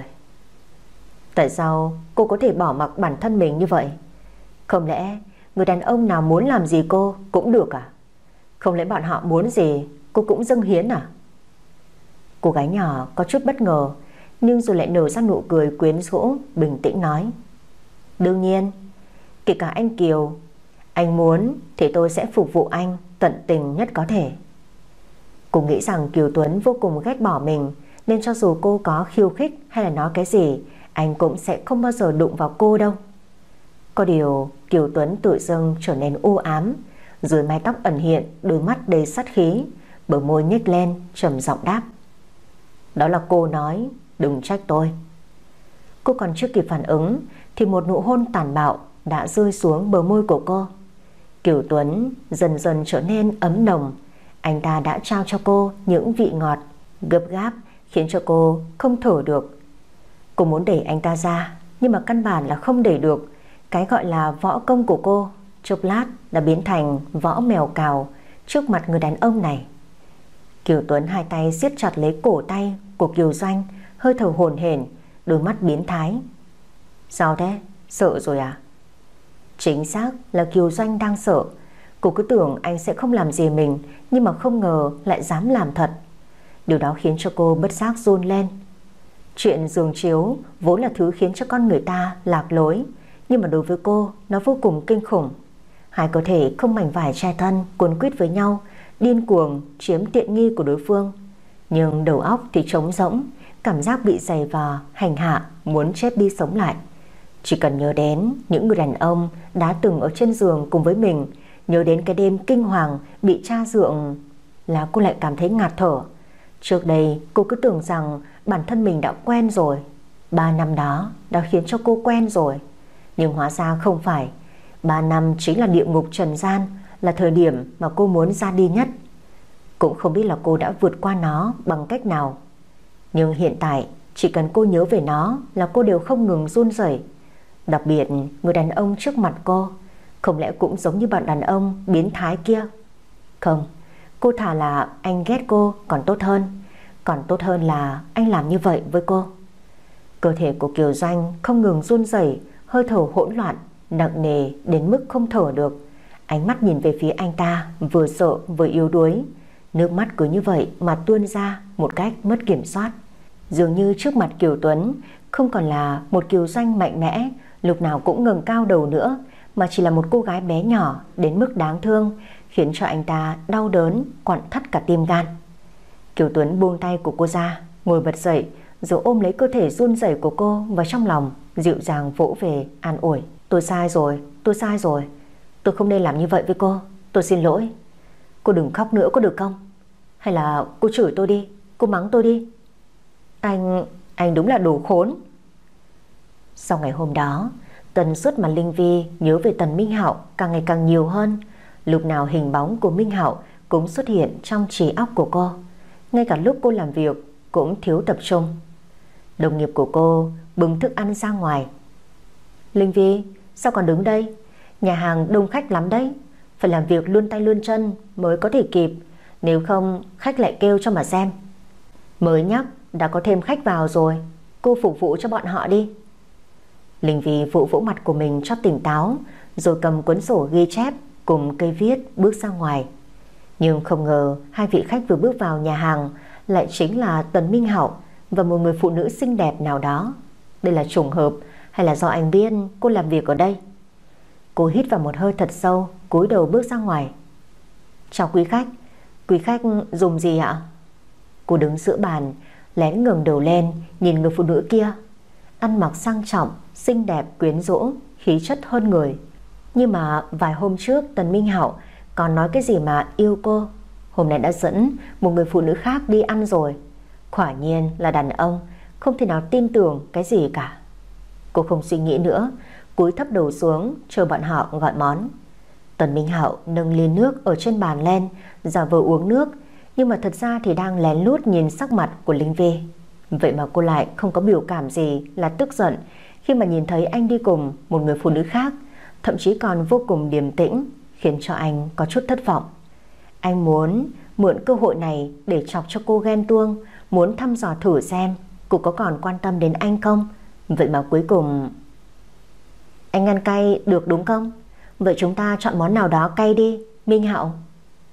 Người phụ nữ đi cùng anh diễn rất tốt, giọng điệu mềm dẻo còn cố tình gọi anh là Minh Hạo. Nhưng mà điều đó không quan trọng, quan trọng là anh không ăn cay. Anh lại không có phản ứng gì chiều theo cô ta, khiến cho Linh Vi có chút bất ngờ.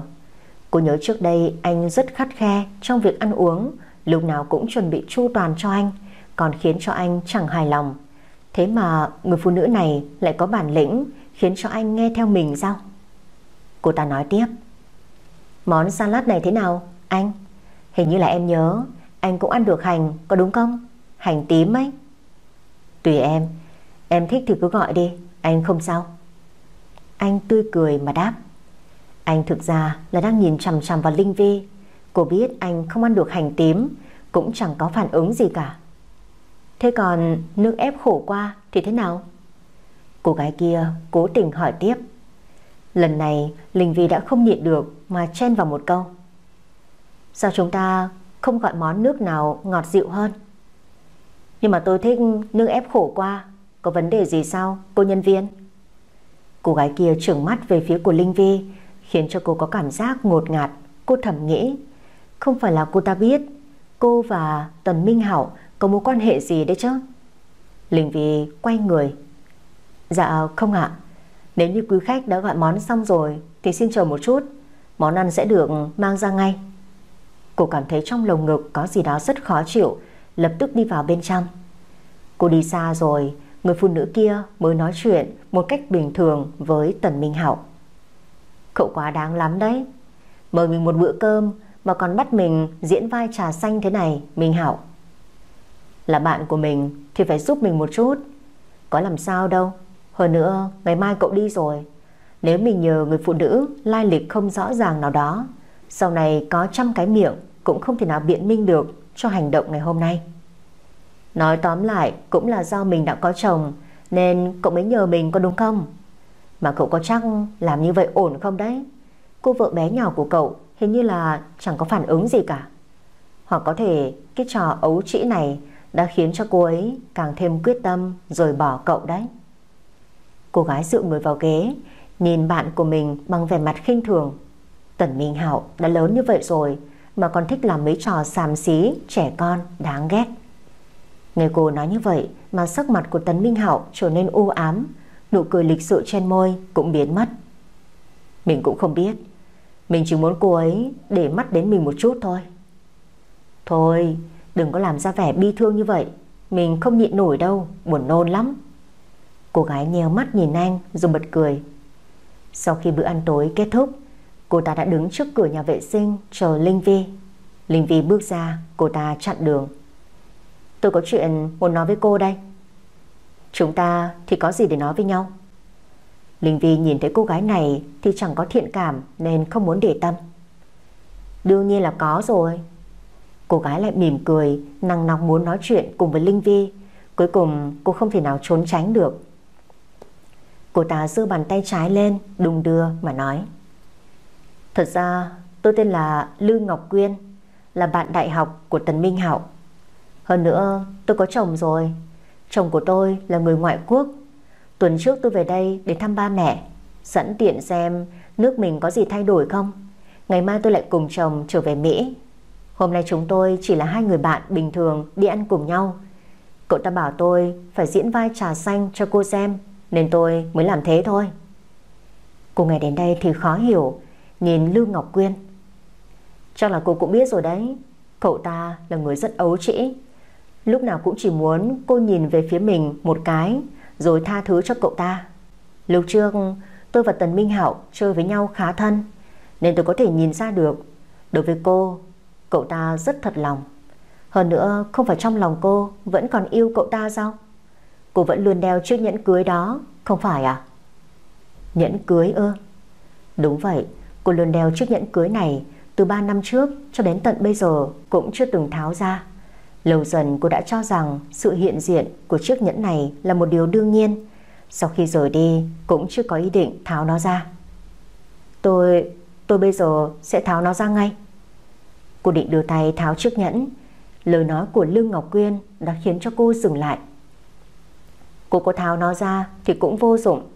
Tình cảm của cô có nằm trong chiếc nhẫn này đâu, mà là nằm trong tim kia kìa. Trong tim cô vẫn còn cậu ta. Thì cho dù có Tháo, Thì cho dù có Tháo, Cô cũng sẽ yêu cậu ta thôi. Hai người yêu nhau, Tại sao cứ phải khổ sở, chia cắt nhau làm gì? Cái này tôi cũng không muốn nói đâu, Nhưng mà cô có cảm thấy Cuộc sống của cô gần đây khá xuân sẻ không? Cô có cảm giác như Khó khăn đều tự nhiên được giải quyết, Đúng không? Giống như việc cô làm đổ thức ăn Lên vị phu nhân, Cô vẫn luôn không hiểu Tại sao người đó lại không truy cứu. Cô cau mày. Ý cô là anh ấy giúp tôi sao? Nhưng tại sao anh ấy có thể làm như vậy? Anh ấy cho rằng không có anh ấy, Tôi không sống được chắc. Cô sai rồi, Linh Vi. Không phải như vậy, Mà là Tần Minh Hạo không thể nào bỏ mặc cô mới đúng. Cậu ấy quá yêu cô, Muốn bảo vệ cho cô, Lo lắng cho cô. Tuy cậu ấy có lúc trẻ con, Làm những trò không cần thiết, Hơi nhố nhăng, Nhưng mà tất cả mọi chuyện cũng là hướng về cô. Thật ra thì tôi không đành lòng nhìn bạn của tôi chìm đắm trong rượu chè, thuốc lá, công việc rồi lại bỏ rơi bản thân mình vì cô cho nên quyết định nói ra những lời này. Kết cục thế nào vẫn nằm ở cô. Tạm biệt cô nha. Tôi mong rằng lần sau về nước cô và Tần Minh Hạo đã trở thành cặp vợ chồng ngọt ngào, mãi mãi không xa nhau. Lương Ngọc Quyên nói xong những điều cần nói thì quay lưng rồi đi một cách thong dong. Còn Linh Vi đứng đó trong lòng nặng trĩu, cô không biết từ lúc nào mà cô đã dựa dẫm vào người đàn ông này như vậy. Cứ như không có anh dẫn đường thì cô sẽ bị nghiền nát bởi thế giới này thêm một lần nữa. Tần Minh Hạo không biết Lương Ngọc Quyên đi tìm Linh Vi nên có chút cáu gắt khi bắt anh phải chờ lâu. Cậu đi đâu mà lâu thế? Cậu không muốn đưa mình về thì nói thẳng một tiếng đi. Không phải, nhưng mà cậu đi đâu thế? Mình cứ tưởng là cậu ngất luôn trong nhà vệ sinh rồi. Chuyện của phụ nữ, cậu làm sao mà biết được? Cứ vào nhà vệ sinh là chỉ đi vệ sinh thôi à? Còn phải dặm lại phấn, tô lại son. Đâu giống như đàn ông mấy cậu vừa vào xong là ra ngay. Linh vi của mình không cần làm mấy thứ đó, thậm chí không cần trang điểm, vẫn sinh tự nhiên. Thôi thôi, bớt đi, bớt nhắc đến vợ cậu trước mặt mình đi. Có ai đi ngoại tình mà nhắc đến vợ mãi như cậu không? Cậu còn chưa thoát vai sao? Không lẽ định bỏ chồng theo mình à? Thôi, ngậm miệng lại đi, nghe buồn nôn quá. Mấy ngày sau đó, Kiều Xanh vẫn luôn luôn phiền muộn vì Kiều Tuấn. Cô ấy không ngờ rằng Kiều Tuấn lại vì mình mà đối xử khác hẳn. Là vì thương hại hay là vì cảm thấy đồng cảm đây? Nhưng mà suy cho cùng là cái gì cũng chẳng quan trọng. Sau này chưa chắc đã gặp lại nhau. Mà cho dù có gặp lại thì cũng chỉ là người dưng nước lã. Làm gì có ai liên quan đến ai. Ấy vậy mà trong lòng Kiều Doanh cứ nhớ đến người đàn ông đó. Cô muốn được anh ta ôm thêm một lần nữa cũng muốn được anh ta quan tâm, cho dù chỉ xuất phát từ lòng từ bi đi chăng nữa. Quả là con người lúc nào cũng có lòng tham vô đáy, có được một chút ấm áp lại muốn có cả một gia đình. Nhưng mà gia đình sao? Tình yêu, hạnh phúc sao? Đó là những thứ mà Kiều Doanh không thể nào với đến được. Một người nhơ nhước như cô thì làm gì có ai thèm thật lòng, thật dạ yêu thương. Cũng chỉ là ham mê nhan sắc của cô. Còn bên trong thì không biết đã chửi rủa đến mức nào rồi. Kiều Doanh nâng ly rượu lên uống cạn, Quyết tâm không suy nghĩ đến tên bác sĩ đáng ghét đó. Cũng chỉ là một người đàn ông thôi mà Kiều Doanh không cần đâu. Đúng lúc này thì có giọng nói vang lên. Lâu rồi không gặp nhỉ, Mày vẫn khỏe chứ Kiều Doanh? Cô liếc mắt nhìn sang. Thì ra là tên hôm trước bị cô mắng nhiếc.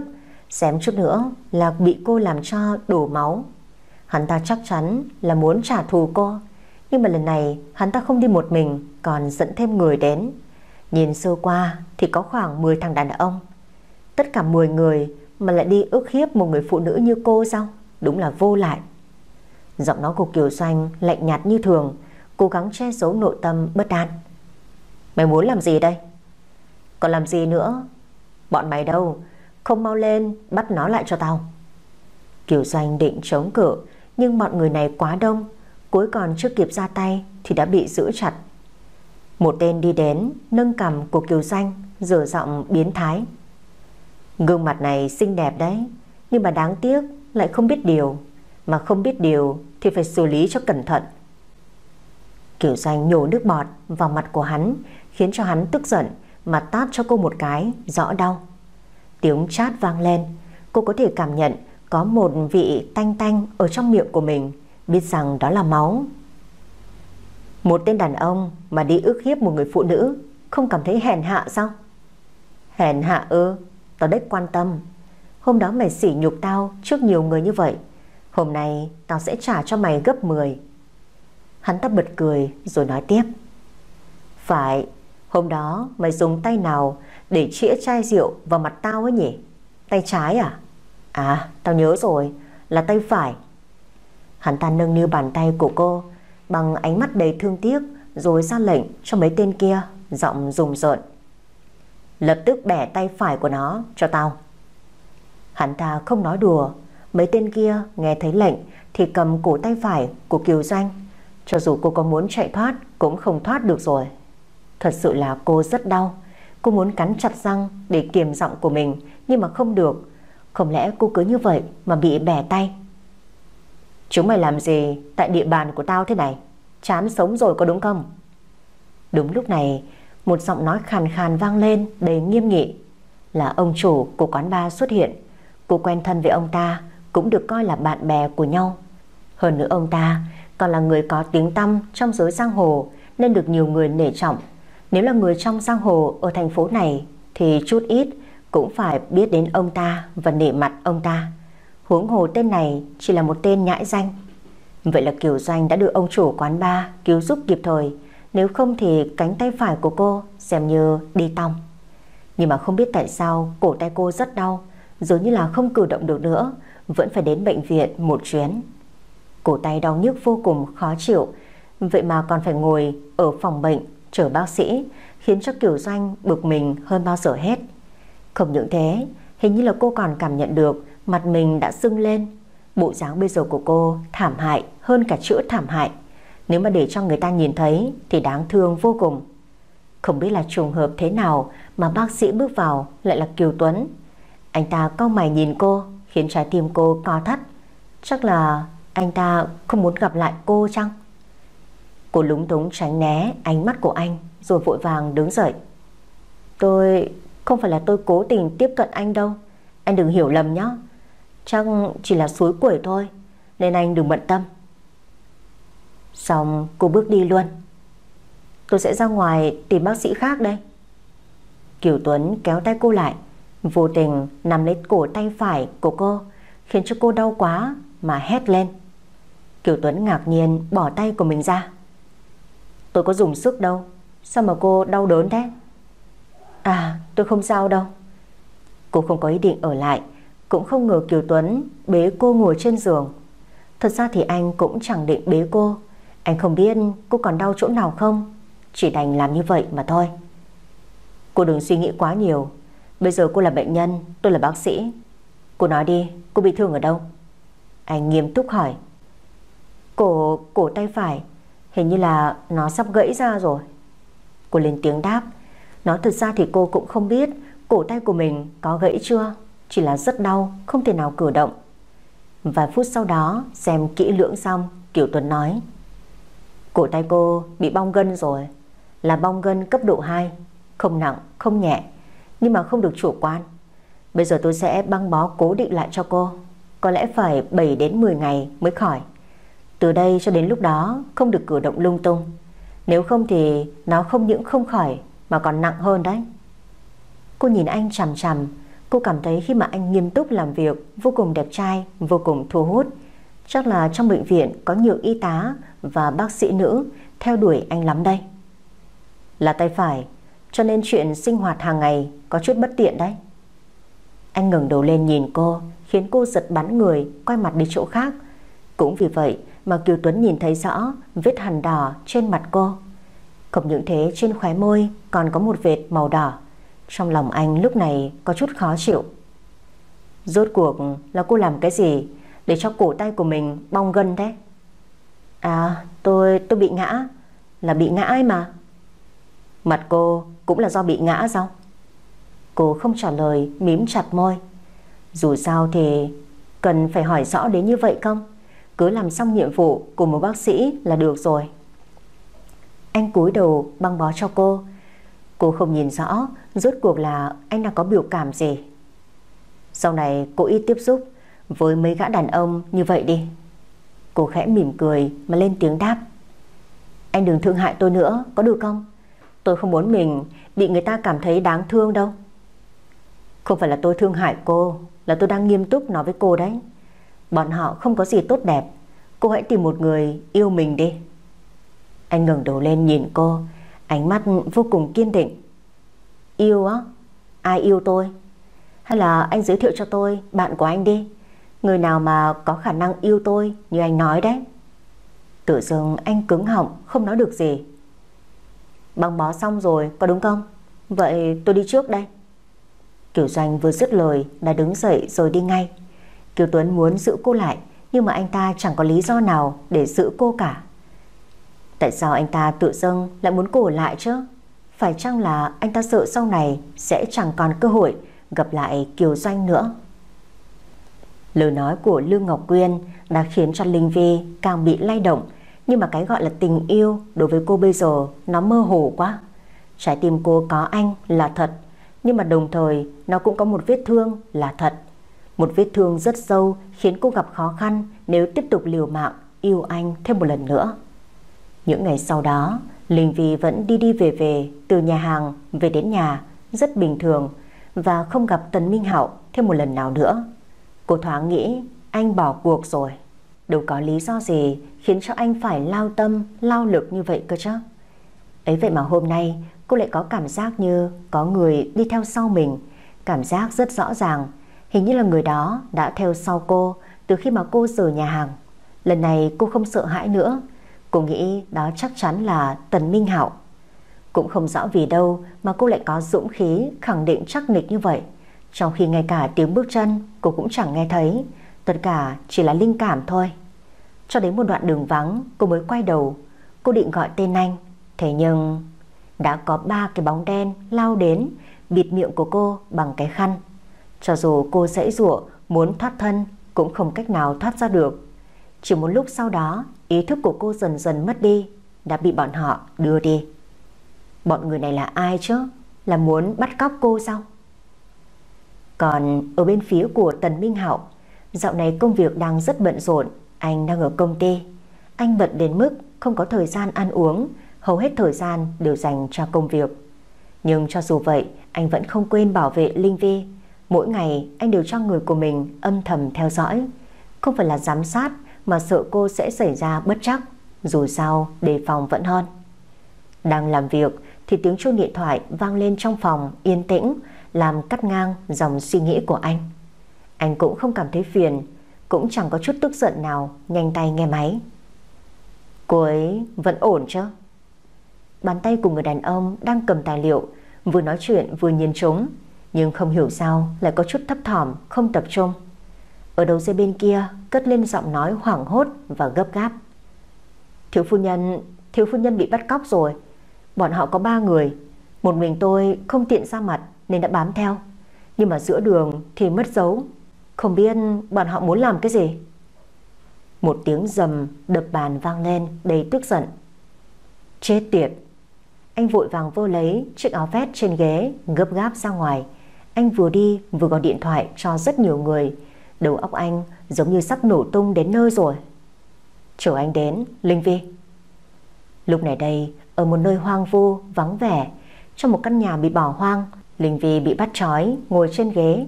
Ngay cả chân cũng bị trói chặt rồi. Không thể nào để cho con nhỏ này còn sống. Cũng không được cho nó ra đi một cách quá đơn giản. Phải là sống không bằng chết, Lột da, xẻ thịt thì mới có thể trả thù cho tử gian Lời nói này đã làm cho Linh Vi bừng tỉnh Người đứng trước mặt là một phu nhân ăn mặc sang chảnh Một gương mặt đầy căm phẫn, ác độc Không ai khác, Đặng phu nhân mẹ của Đặng Tử San. Sau khi mà Tử San vào trong tù chịu rất nhiều cực khổ, thậm chí còn bị người ta đánh đập, Đặng phu nhân đã vô cùng hận Linh Vi.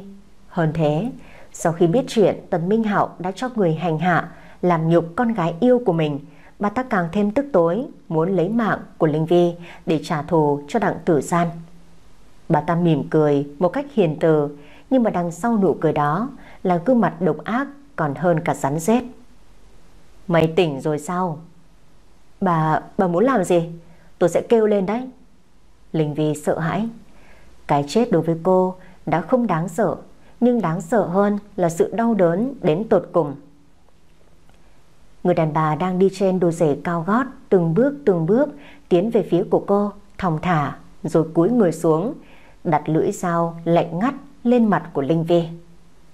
Kêu đi, cho dù mày có kêu đến rách cả cổ họng Cũng chẳng có ai nghe đâu. Chẳng có ai đến cứu mày đâu. Bây giờ mày đã không còn Tần Minh Hạo chống lưng rồi. Hắn ta đã chắc chắn ghét mày rồi Nên mày chẳng khác nào Một con chó bị bỏ rơi. Sớm thôi Tao sẽ cho mày biết cảm giác đau khổ là thế nào. Tao sẽ cho mày nếm trải Cảm giác bị làm nhục, Bị 10 thằng đàn ông nâng niu là thế nào. Chắc chắn vô cùng thú vị đấy. Mày nói xem, Nếu gương mặt xinh đẹp này của mày Mà bị hủy Thì sẽ thế nào đây? Bà ta cười khẩy Về mặt đáng sợ, Vô cùng khiến cho cô run rẩy. Nếu bà lấy mạng tôi, Thì pháp luật sẽ không tha cho bà đâu. Cô biết nói những điều này Vào lúc này, chẳng có tác dụng, Nhưng mà cô không có gì để uy hiếp bà ta cả. Ngoài cái mạng nhỏ bé này, Cô chẳng còn gì. Cả căn phòng vang lên âm thanh khiếp sợ. Mấy tên đàn ông kia không ngừng ôm bụng, cười phá lên. Cứ như là vừa nghe được câu chuyện cười. Pháp luật sao? Mày đừng nhắc đến pháp luật với tao. Cái con ngây thơ này, Mày vẫn chưa biết đồng tiền có sức mạnh như thế nào à? Bà ta đứng thẳng lên, Lùi về sau vài bước, Rồi lạnh nhạt lên tiếng. Lấy roi ra đến đây cho tao, Đánh nó. Phải đánh cho đến khi nào nó ngất đi Thì mới thôi. Mà ngất rồi thì phải làm cho tỉnh dậy. Một tên đàn ông vạm vỡ Cầm chiếc roi ra đi đến. Hắn ta nhìn cô bằng đôi mắt vô cùng ghi rợn, Muốn ăn tươi nước sống. Miệng hắn ta nở ra nụ cười đầy hứng khởi, Vùng chiếc roi lên cao. Tiếng roi chàm chát, chạm vào da thịt đau đớn, Nhưng cô cắn chặt răng, Một tiếng cũng không than khóc. Nỗi đau đớn khiến cho đầu óc của cô suy nghĩ mông lung. Cô chắc chắn hôm nay Mình sẽ không thể nào thoát ra khỏi nơi đây. Càng chắc chắn ngày mai ở đây Sẽ có một cơ thể đầy thương tích, Thậm chí là không mảnh vải che thân là cô. Cô quá bé nhỏ, Ngay cả sự ra đi, Cô cũng không thể nào tự lựa chọn cho bản thân. Cô nhắm chặt mắt Hình ảnh của Tần Minh Hạo hiện lên trước mắt cô vô cùng rõ ràng. Cô mấp máy môi. Tạm biệt anh, Minh Hạo, em yêu anh. Đúng lúc này, một tiếng vang lớn đã vang lên. Là một tiếng rầm rầm khiến cho người đàn ông to lớn kia dừng tay. Ở phía cửa xuất hiện một người đàn ông khác, cầm trên tay cây gậy lớn, ánh mắt đùng đùng sát khí nhìn bọn người kia rồi nhìn về phía của Linh Vi. Nhìn thấy những vết thương trên người cô, anh nghiến răng nghiến lợi, lạnh lùng thốt ra một câu. Chúng mày chán sống rồi. Cô mở to mắt nhìn anh, Tần Minh Hạo. Nhanh chóng nơi này đã được bao vây, một trận hỗn loạn xảy ra, hai bên đánh đấm vô cùng dữ dội. Đặng phu nhân siết chặt con dao trong tay, bà ta dùng ánh mắt đỏ ngầu căm phẫn đi về phía của Linh Vi. Tao phải lấy mạng mày, con chết dẫm này. Bà ta cầm con dao lao tới, Linh Vi biết là mình không thể nào tránh được nữa. Cô nhắm mắt để chờ đợi cái chết. Đúng là điên rồi. Còn dao cách cô quá gần, Tần Minh Hạo không cách nào trở tay kịp, Chỉ đành Đúng lúc này, một mối tanh tưởi thoang thoảng ở bên mũi. Linh Vi mở mắt ra. Người đàn ông đã ở trước mặt cô, Và con dao thì ghim sâu vào lưng của anh. Thứ chất lỏng màu đỏ Nhanh chóng thấm ướt một mảng áo anh. Đặng phu nhân không ngờ Tấn Minh Hạo lại dùng cơ thể để che chắn con dao cho Linh Vi. Tay chân bà ta run rẩy té ngã xuống dưới đất. Linh Vi nhìn bà ta rồi lại quay sang nhìn anh. Nước mắt của cô đã không tự chủ mà tuôn rơi. Giọng nói run rẩy không thể nào nói thành một câu hoàn chỉnh. Tại sao? Tại sao chứ? Tại sao anh phải làm như vậy chứ? Anh mỉm cười, sắc mặt nhợt nhạt, mồ hôi đầm đìa trên trán. Cái gì mà tại sao? Làm sao anh có thể để vợ mình ra đi trước mặt anh chứ? Anh không thể nào chắn con dao cho em. Người bà ta muốn lấy mạng là em cơ mà. Anh làm vậy có đáng không? Cô vừa tức giận cũng vừa đau đớn hét lên. Tuần Minh Hạo lại rất vui. Ít ra thì cô vẫn còn yêu anh. Cô lo lắng cho anh như vậy cơ mà. Anh đưa tay lên lau đi giọt nước mắt trên má cô. Ngoan nào đừng khóc. Anh, anh không sao đâu. Cái gì mà không sao chứ Anh... Tần Minh hảo không để cho cô nói xong đặt lên môi cô một nụ hôn. Bờ môi của anh lạnh ngắt như là bông tuyết trắng lướt trên môi cô. Anh thì thầm. Linh Vi, anh yêu em. Sau đó thì anh gục trên vai của cô, hai mắt nhắm chặt, hơi thở thì yếu ớt. Cô tròn mắt nhìn về khoảng không. Phía những người kia vẫn đang hỗn loạn. Trái tim cô dâng lên một cơn đau đớn lan ra toàn thân một lời khó diễn tả. Cô muốn vùng vẫy thoát ra, muốn nô manh vào trong lòng nhưng lại chẳng thể nào khiến cho sợi dây thừng lung lay. Ngược lại, nó cứ vào vết thương khiến cho cô đau đớn. Cô không quan tâm, cô chỉ muốn Tần Minh Hạo còn sống. Giữa ranh giới sinh tử, vậy mà cô lại không thể nào làm được gì. Chỉ có thể ngồi yên, nhìn anh, hơi thở đang yếu dần. Cô tuyệt vọng hét lên. Anh tỉnh lại đi, em cầu xin anh, Tần Minh Hạo. Cô khóc nấc lên từng hồi, cơ thể run bần bật.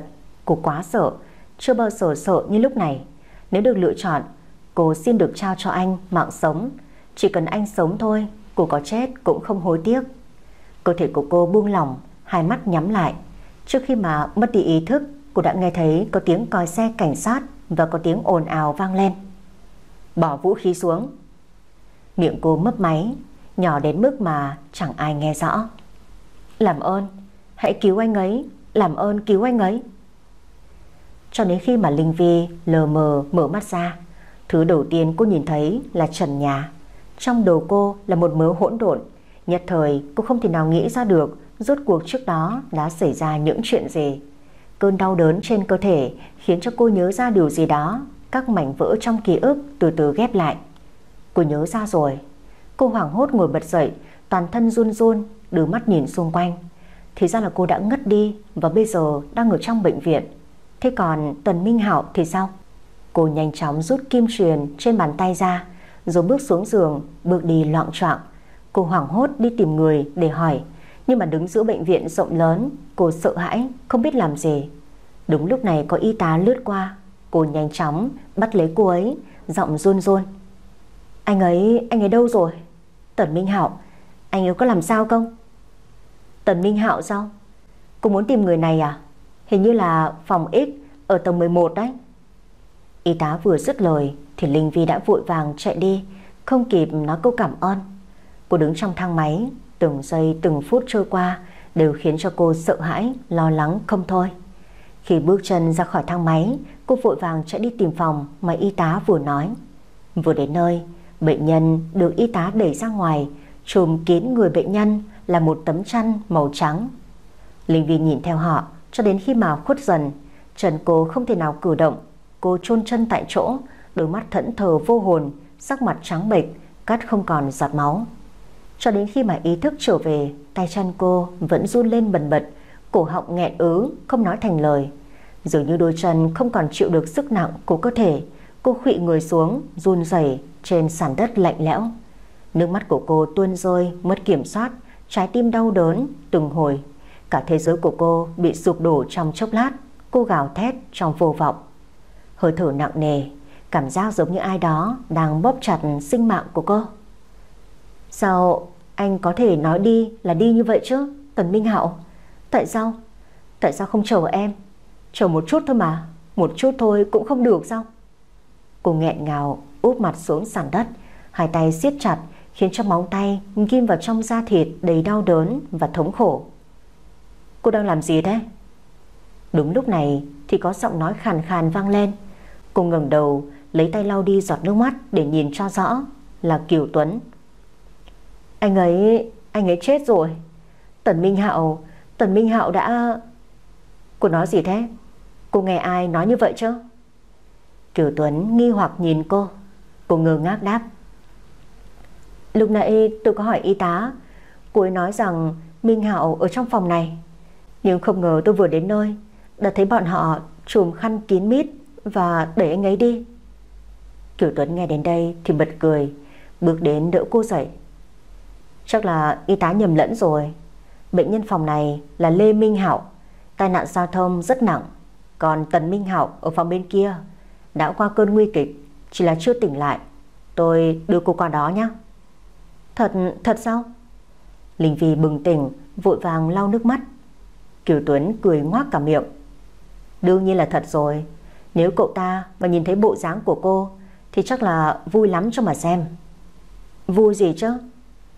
Cô khó hiểu Kiều Tuấn không nói tiếp. Nhưng chắc chắn tuấn Minh Hạo vui là thật Bởi vì biết rằng cô vẫn còn yêu anh Còn lo lắng, đau lòng vì anh Đến còn quại thế kia. Linh Vi bước vào trong phòng bệnh Nhẹ nhàng đến bên giường của anh. Anh đang nằm sấp Sắc mặt vô cùng nhợt nhạt. Cô chưa bao giờ thấy anh như thế này. Trước đây anh ở trước mặt cô Là một người đẹp trai, tuấn tú Sắc mặt hồng hào, đầy tự tin Đầy quyền lực. Vậy mà anh vì cô thành ra như vậy đây. Cô cố gắng để cho bản thân mình không khóc. Anh còn chưa ra đi Cô khóc cái gì chứ? Định chủ ẻo anh sao? Bàn tay cô run run vươn ra Muốn chạm vào mặt của anh Nhưng mà không dám chạm. Cô quỳ xuống sàn, Gối đầu lên tay anh, Nhìn chằm chằm. Cô muốn chờ anh tỉnh dậy, Muốn nói cho anh biết là cô yêu anh. Cô muốn ở bên cạnh anh, Sống cùng anh đến trọn đời. Cho dù có thế nào, Có đau khổ đi chăng nữa, Cô cũng cam tâm tình nguyện. Kiều Doanh biết chuyện, liền chạy đến bệnh viện, muốn xem là Linh Vi thế nào. Nhưng mà không ngờ đến trước cửa phòng bệnh của Tần Minh hảo cô ấy lại gặp Kiều Tuấn. Kiều Tuấn nhìn thấy Kiều Doanh đến thì hỏi. Linh Vi đang ở bên trong, nhưng bây giờ tốt nhất là cứ để cô ấy yên tĩnh đi. Kiều Doanh đứng ở cửa sổ phòng bệnh nhìn vào trong. Cô ấy thật sự có chồng rồi sao? Tôi chưa bao giờ nghe cô ấy nhắc đến chuyện này. Chỉ là vợ chồng nhà người ta cãi nhau thôi mà, có gì lạ đâu. Đàn ông các anh đúng là cặn bã như nhau hết. Kiều Tuấn định lên tiếng phản đối, Kiều Doanh lại nói tiếp. Thế rốt cuộc chuyện hôm nay là sao? Tại sao cô ấy lại bị bắt cóc chứ? Chuyện này kể ra thì dài dòng lắm, sau này sẽ kể cho cô nghe sau. Mà tay cô thế nào rồi? Đỡ hơn chưa? Không sao, chắc là tháo băng được rồi. Kiều Doanh không ngờ anh ta lại để tâm đến bàn tay của mình, cảm thấy có chút kỳ lạ. Hay để tôi giúp cô nhé. Sao cơ? Cô còn đang ngơ ngác thì đã bị anh kéo đi từ bao giờ. Một lát sau đó, Kiều Tuấn cất dụng cụ lên tiếng nói. Xong rồi, nhưng mà cổ tay cô bị chấn thương một lần rồi, sau này chú ý hơn đấy. Anh đúng là một bác sĩ tốt nhỉ, rất thích lo chuyện bao đồng, ghét tôi mà vẫn tận tâm thế này đây. Kiều Tuấn khựng lại, tự dưng anh đứng phát dậy, cúi người xuống, đặt hai tay lên giường, nhốt Kiều Doanh ở bên trong.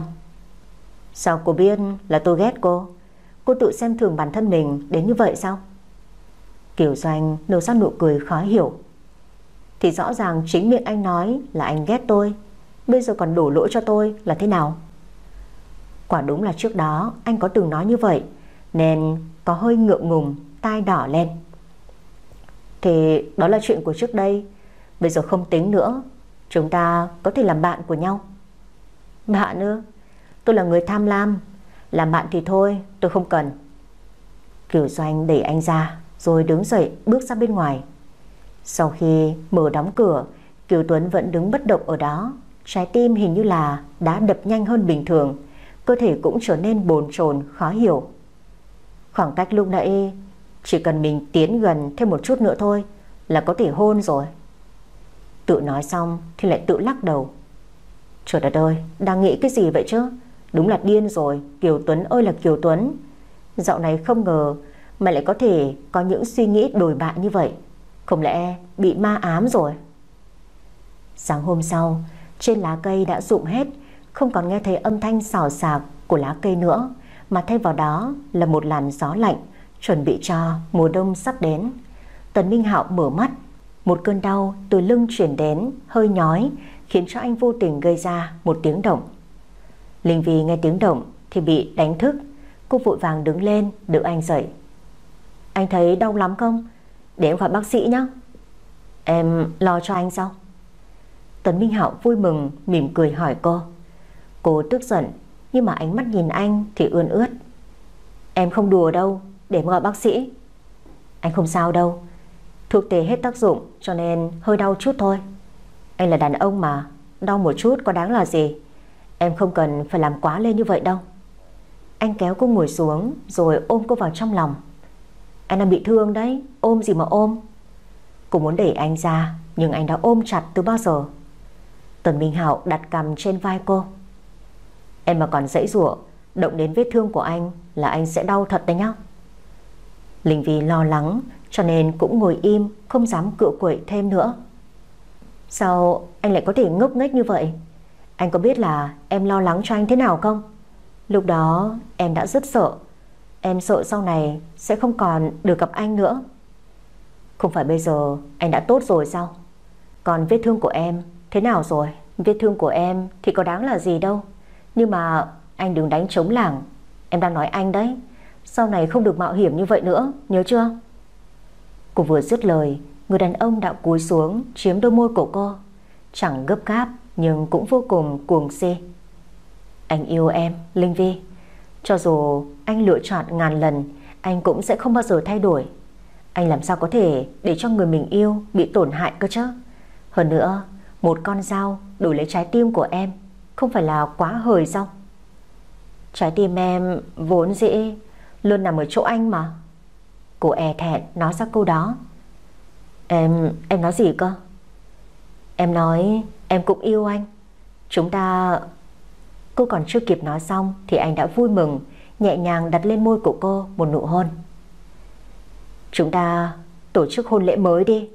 Một hôn lễ dành cho riêng chúng ta. Không hận, không ghét, không vì lợi ích. Chỉ có tình yêu và hạnh phúc thôi. Có được không em? Cô gật đầu đồng ý. Tần Minh Hạo ôm chặt lấy cô vào trong lòng. Cảm ơn em. Cảm ơn em đã luôn luôn yêu anh như vậy, Linh Vi. Sau khi vết thương của tấn Minh Hạo khỏi hẳn, anh liền chuẩn bị cho hôn lễ của mình. Lần này tất cả mọi thứ đều do đích thân anh sắp xếp. Anh còn cùng cô đi chọn nhẫn cưới, chọn váy cưới. Lần này cho dù có phải đi chọn, mấy lần đi chăng nữa, phải chờ đợi lâu đến thế nào anh cũng chẳng tức giận. Mà ngược lại còn cảm thấy rất hạnh phúc. Chỉ cần có tình yêu thì có phải chờ đợi thế nào bản thân mình cũng vui vẻ mà thôi. Không lâu sau đó, hôn lễ được diễn ra. Nó được diễn ra vào mùa xuân, một mùa đẹp trời và có ánh nắng ấm áp chiếu rọi. Dường như hoa lá và cả ong bướm cũng cùng nhau chúc phúc cho hai nhân vật chính, đó chính là Minh Hạo và Linh Vi. Tần Minh Hạo có đồng ý lấy cô Đặng Linh Vi làm vợ không? Cho dù tôi đồng ý. MC còn chưa nói xong, anh đã vội vàng lên tiếng đồng ý. Vậy cô Đặng Linh Vi, cô có... Tôi đồng ý. Linh Vi mỉm cười, lên tiếng nói. Sự gấp gáp của cô dâu chú rể khiến cho các khách mời đều bật cười. Còn MC thì gượng gạo, anh ta nghĩ thầm. Hai người này tự nói luôn đi, còn mời tôi về đây làm MC làm gì không biết. Mời cô dâu chú rể trao nhẫn cho nhau.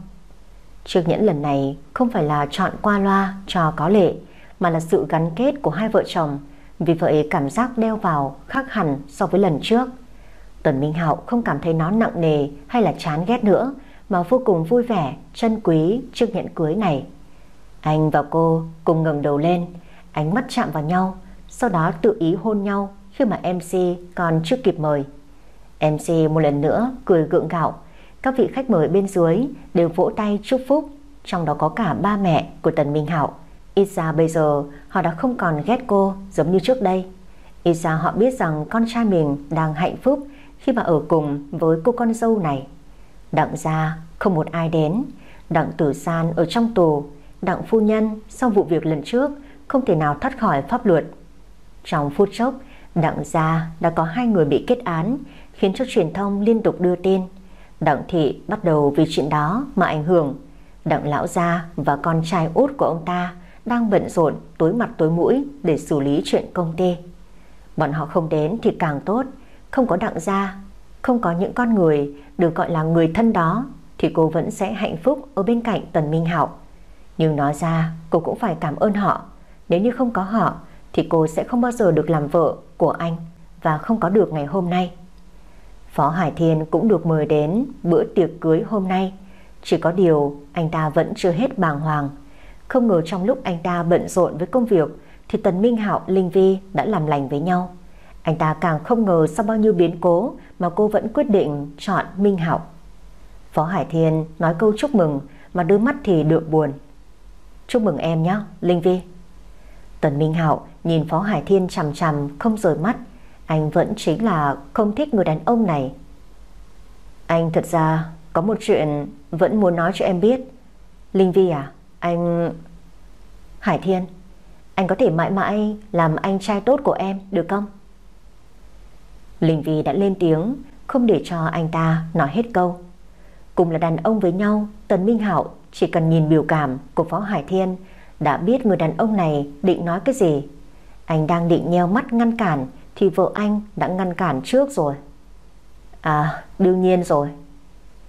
Cho dù trái tim đang nhói đau, nhưng mà Phó Hải Thiên cũng đã hiểu hàm ý của Linh Vi, cho nên chỉ đành mỉm cười đồng ý.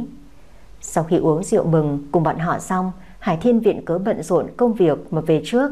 Thật ra thì anh ta đã không thể nào nhìn được cảnh tượng hai người hạnh phúc bên nhau. Có lẽ nói anh ta ích kỷ, cũng có thể là do anh ta nhát gan, không muốn đối diện với sự thật. Còn Kiều Doanh thì cũng được Linh Vi mời đến dự hôn lễ. Cô chỉ đứng từ xa uống rượu và nhìn cảnh hai người hạnh phúc, mặn nồng, ân ái như một đôi vợ chồng son. Ánh mắt nhìn hai người tràn đầy sự ngưỡng mộ, đồng thời là nụ cười chế giễu. Bản thân Kiều Doanh khi nào mới được có một đám cưới thế này? Thật ra thì cô ấy không cần xa hoa, không cần quá nhiều người đến tham dự, cũng không cần người chồng giàu có. Thứ cuối cần là một lòng, một dạ, một mình cô ấy, một tấm chân tình và gia đình hạnh phúc. Nhưng đàn ông không ham muốn sắc tình, không tham lam thì đâu còn là đàn ông. Một người trung thủy tìm đâu ra mới có cơ chứ. Cuối cùng thì Kiều Doanh vẫn đặt ly rượu xuống và rồi đi. Kiều Tuấn đứng cách cô không xa cho nên đã nhìn thấy tất cả. Chỉ là anh ta không dám tiếp cận Kiều Doanh, không dám an ủi. Sợ cô lại nghĩ anh ta đang thương hại Kiều Doanh mà thôi. Rõ ràng nội tâm của cô mong manh như vậy. Tại sao cô cứ phải tỏ ra lạnh lùng, bất cần làm gì? Cô cứ thế, khiến cho người ta đau lòng lắm đấy. Kiều Tuấn đứng đó lầm bầm. Một năm sau, một năm trôi qua, cuộc sống của Kiều Doanh vẫn như vậy, chỉ là quen thêm được một người bạn tốt là Linh Vi. Ngoài ra thì cũng chẳng có gì thú vị, nói trắng ra là nhàm chán, đến chết đi được. Ngày nào cũng đi đi về về, từ nhà đến quán bar, không thì cũng tụ tập chơi bời, ngày nào cũng lặp đi lặp lại, quá là vô vị. Kiều Doanh thường chê Linh Vi suốt ngày ở nhà làm nội trợ, chẳng có gì vui cả. Nhưng mà Linh Vi có Tần Minh Hạo, còn cô thì cô độc một mình. Tuy rằng xung quanh có đàn ông vây quanh, cũng chẳng có ích gì. Cô biết rõ trong lòng bọn họ nghĩ cô là loại người thế nào và khinh thường cô ra sao. Hôm nay cô lại rơi vào trầm tư, muốn một mình uống rượu ở quán bar. Cô vừa uống rượu, hai ngón tay vừa kẹp điếu thuốc, người khác nhìn vào chỉ thấy vẻ phong trần, tự do tự tại. Có một người đàn ông đi đến, cướp điều thuốc trong tay của Kiều Doanh rồi rít một hơi. Phía sau làn khói trắng là một bóng hình quen thuộc. Giọng nói của người đàn ông khàn khàn nhưng vẫn ấm áp làm cho cô lưu tâm. Cô bớt hút thuốc lại đi, có được không? Kiều Tuấn, dạo này anh hay quản chuyện của tôi quá nhỉ? Kiều Doanh lấy điếu thuốc mới ra thì lại bị Kiều Tuấn cướp luôn cả hộp thuốc. Cô bực mình. Rốt cuộc là anh muốn làm cái gì đây? Bỏ thuốc đi. Một cô gái như cô lúc nào cũng hút thuốc, không tốt đâu. Anh ngồi xuống bên cạnh cô, ân cần nói. Tôi làm gì thì liên quan gì đến anh? Tại sao mà anh cứ thích lo chuyện bao đồng thế, bác sĩ? Tôi chỉ lo cho cô thôi, tôi không lo chuyện bao đồng của ai cả. Cô bị lời nói của anh làm cho rung động, vội vàng quay mặt đi nơi khác. Anh đang muốn trả thù tôi, có đúng không? Trả thù cái gì? Thì trước kia tôi tiếp cận anh, không ngờ anh là loài người thù dai đến như vậy. Cô nâng ly rượu lên uống cạn. Cô nghĩ như vậy thì anh cũng chẳng còn gì để nói. Để tôi đưa cô về nhé. Cô say lắm rồi đấy. Không, tôi còn muốn uống. Say cái gì mà say? Đôi mắt của cô lờ mờ nhìn anh, nở ra nụ cười đắc ý. Còn uống nữa là không ổn đâu. Cô không sợ loét dạ dày rồi mất mạng sao? Anh cau mày, cướp đi chai rượu trong tay cô, khiến cho cô vô cùng tức giận, chế trụ Kiều Tuấn xuống ghế sofa. Chốc lát, cô đã ngồi trên người anh rồi. Cô đỏ mắt, gương mặt đỏ bừng vì say rượu, cực kỳ ghét sự quan tâm này. Trong lòng cô đã thật sự muốn từ bỏ, không thích Kiều Tuấn nữa rồi, vậy mà anh ta cứ xuất hiện trước mặt cô, khiến cô khó chịu. Tại sao mà anh cứ lải nhải bên cạnh tôi suốt thế? Cứ làm như anh lo lắng cho tôi lắm không bằng. Rốt cuộc là anh muốn cái gì đây, Kiều Tuấn? Anh tự dưng bị cô đè như vậy thì có chút bất ngờ, nhưng mà tư thế này khiến cho anh ngượng ngùng, hơi thở rối loạn, vội vàng né tránh ánh mắt của cô. Cô, cô đi xuống trước đi. Tôi đang hỏi anh đấy, tại sao anh lại làm như vậy chứ? Tại sao anh cứ thích chơi đùa tôi như vậy? Anh cảm thấy vui lắm à? Tôi đã nói rồi, tôi sẽ không thích anh nữa, sẽ không tiếp cận anh nữa. Tại sao anh cứ trêu ghẹo tôi? Cô vừa nói vừa khóc, lấy tay lau nước mắt. Có lẽ vì say quá cho nên cô ấm ức, nức nở như thế này. Kiều Tuấn giơ hai tay lên không trung, muốn dỗ dành cô, nhưng mà lại không biết phải dỗ thế nào, miệng ẩm ừ, không thốt ra được tiếng. Nếu vậy thì anh đừng trách tôi. Tự dưng cô nói ra một câu đó rồi nắm cổ áo của anh, đặt đôi môi nóng bỏng lên môi anh. Hương vị cay nồng của rượu phả lên mặt của Kiều Tuấn khiến anh không thể nào cưỡng lại. Anh ôm lấy cô, cuồng nhiệt hôn cô, khiến cho cô có chút giật mình.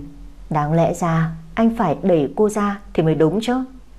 Kiều Doanh có chút hối hận, cô muốn đẩy anh ra nhưng mà đã muộn rồi. Anh bật dậy chế trụ cô, dùng ánh mắt khát khao nhìn cô, hơi thở hổn hển. Cô ngồi dậy đã bị anh đẩy xuống một cách mạnh mẽ. Lần này anh chủ động hôn cô, nụ hôn nồng cháy, làm cho đầu óc của cô muốn nổ tung. Anh, anh muốn làm gì tôi? Người đàn ông mặc kệ xung quanh từ từ hôn xuống cổ. Cô đẩy anh ra, nhưng cơ thể thì mềm nhũn, cô tuyệt vọng than khóc. Anh tỉnh táo lại đi, Kiều Tuấn. Tôi bẩn lắm đấy, anh có biết không? Tôi rất bẩn, anh mau buông tôi ra. Trái tim anh đau nhói, nhưng mà đồng thời cũng vô cùng tức giận, nhẹ nhàng lau nước mắt cho cô. Anh không chê em bẩn, anh cũng không ghét em. Kiều Doanh, em thật sự không nhận ra cảm xúc của anh dành cho em là gì sao? Cảm xúc sao? Cảm xúc cái quái gì chứ? Đối với cô, đàn ông tiếp cận cô đều muốn chơi đùa, đều là vì nhan sắc, muốn chiếm lấy cơ thể của cô. Ngoài ra thì có thể là cái gì?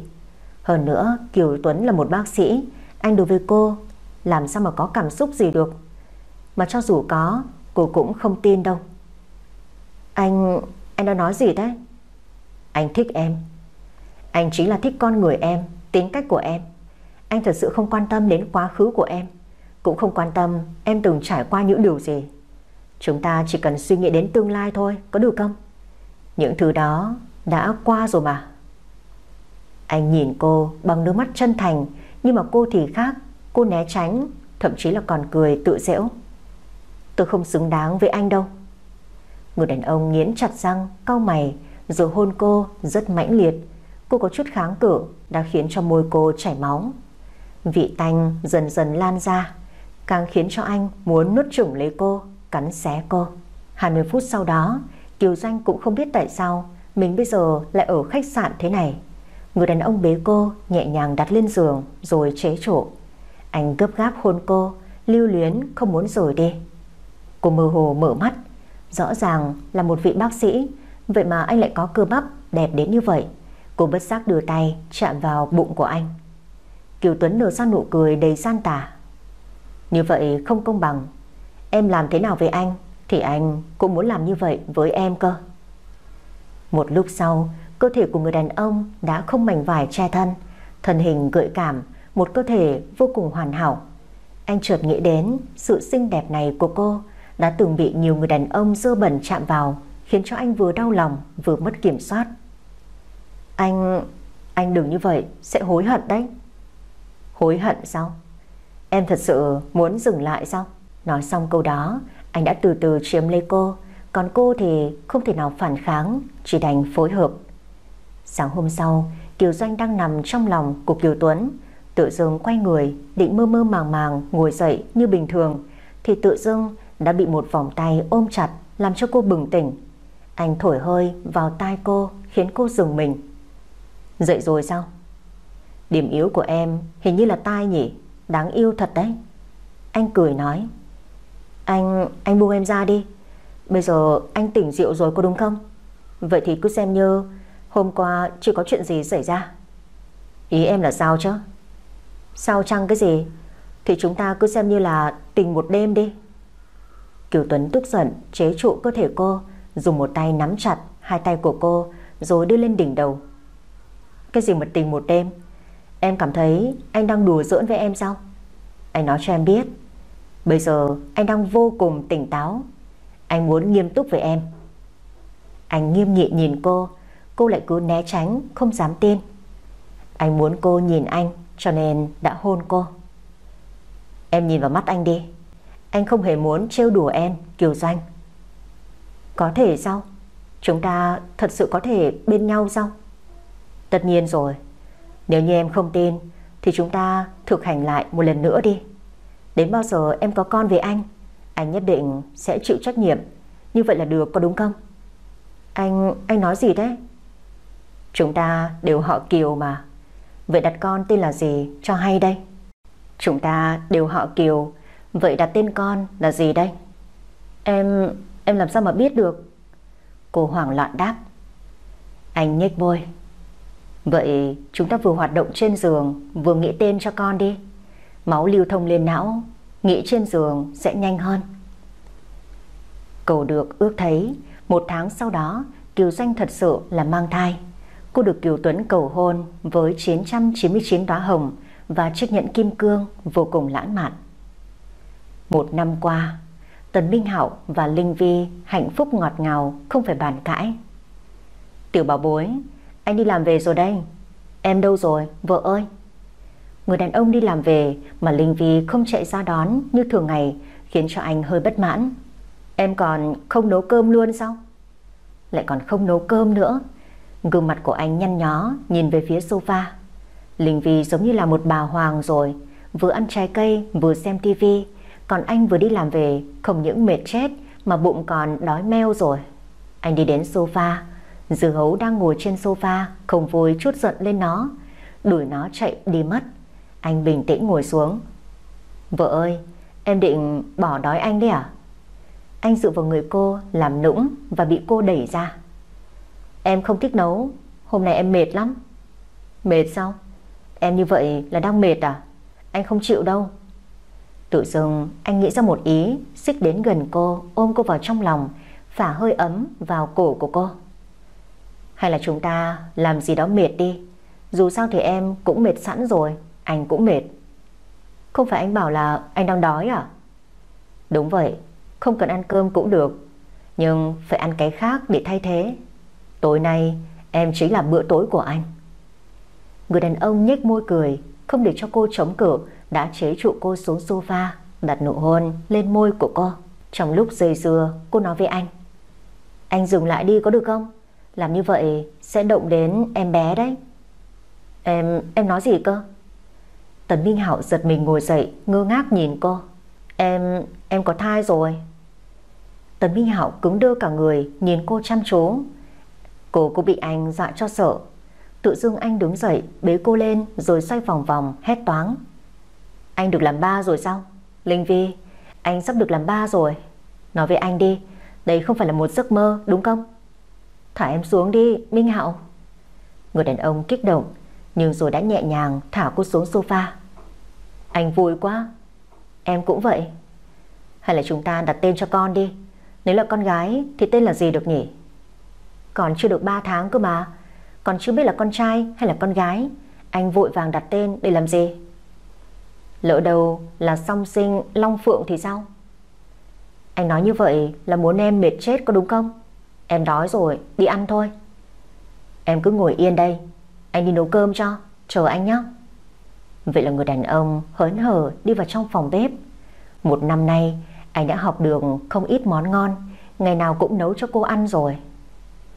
Vậy là sau tất cả Tấm chân tình của Linh Vi đã được đền đáp xứng đáng có người sẽ cho rằng cô là một cô gái nhu nhược, quá bi lụy, không cần phải như vậy vì một người đàn ông.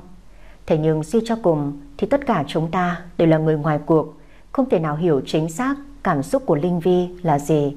Cô thực sự cần gì, chỉ có một mình cô biết. Tình yêu chính là một thứ bất hợp lý như vậy, chẳng ai đoán trước được có điều gì sẽ xảy ra. Vậy thì hãy cứ yêu, như hôm nay là ngày cuối cùng mà chúng ta còn sống.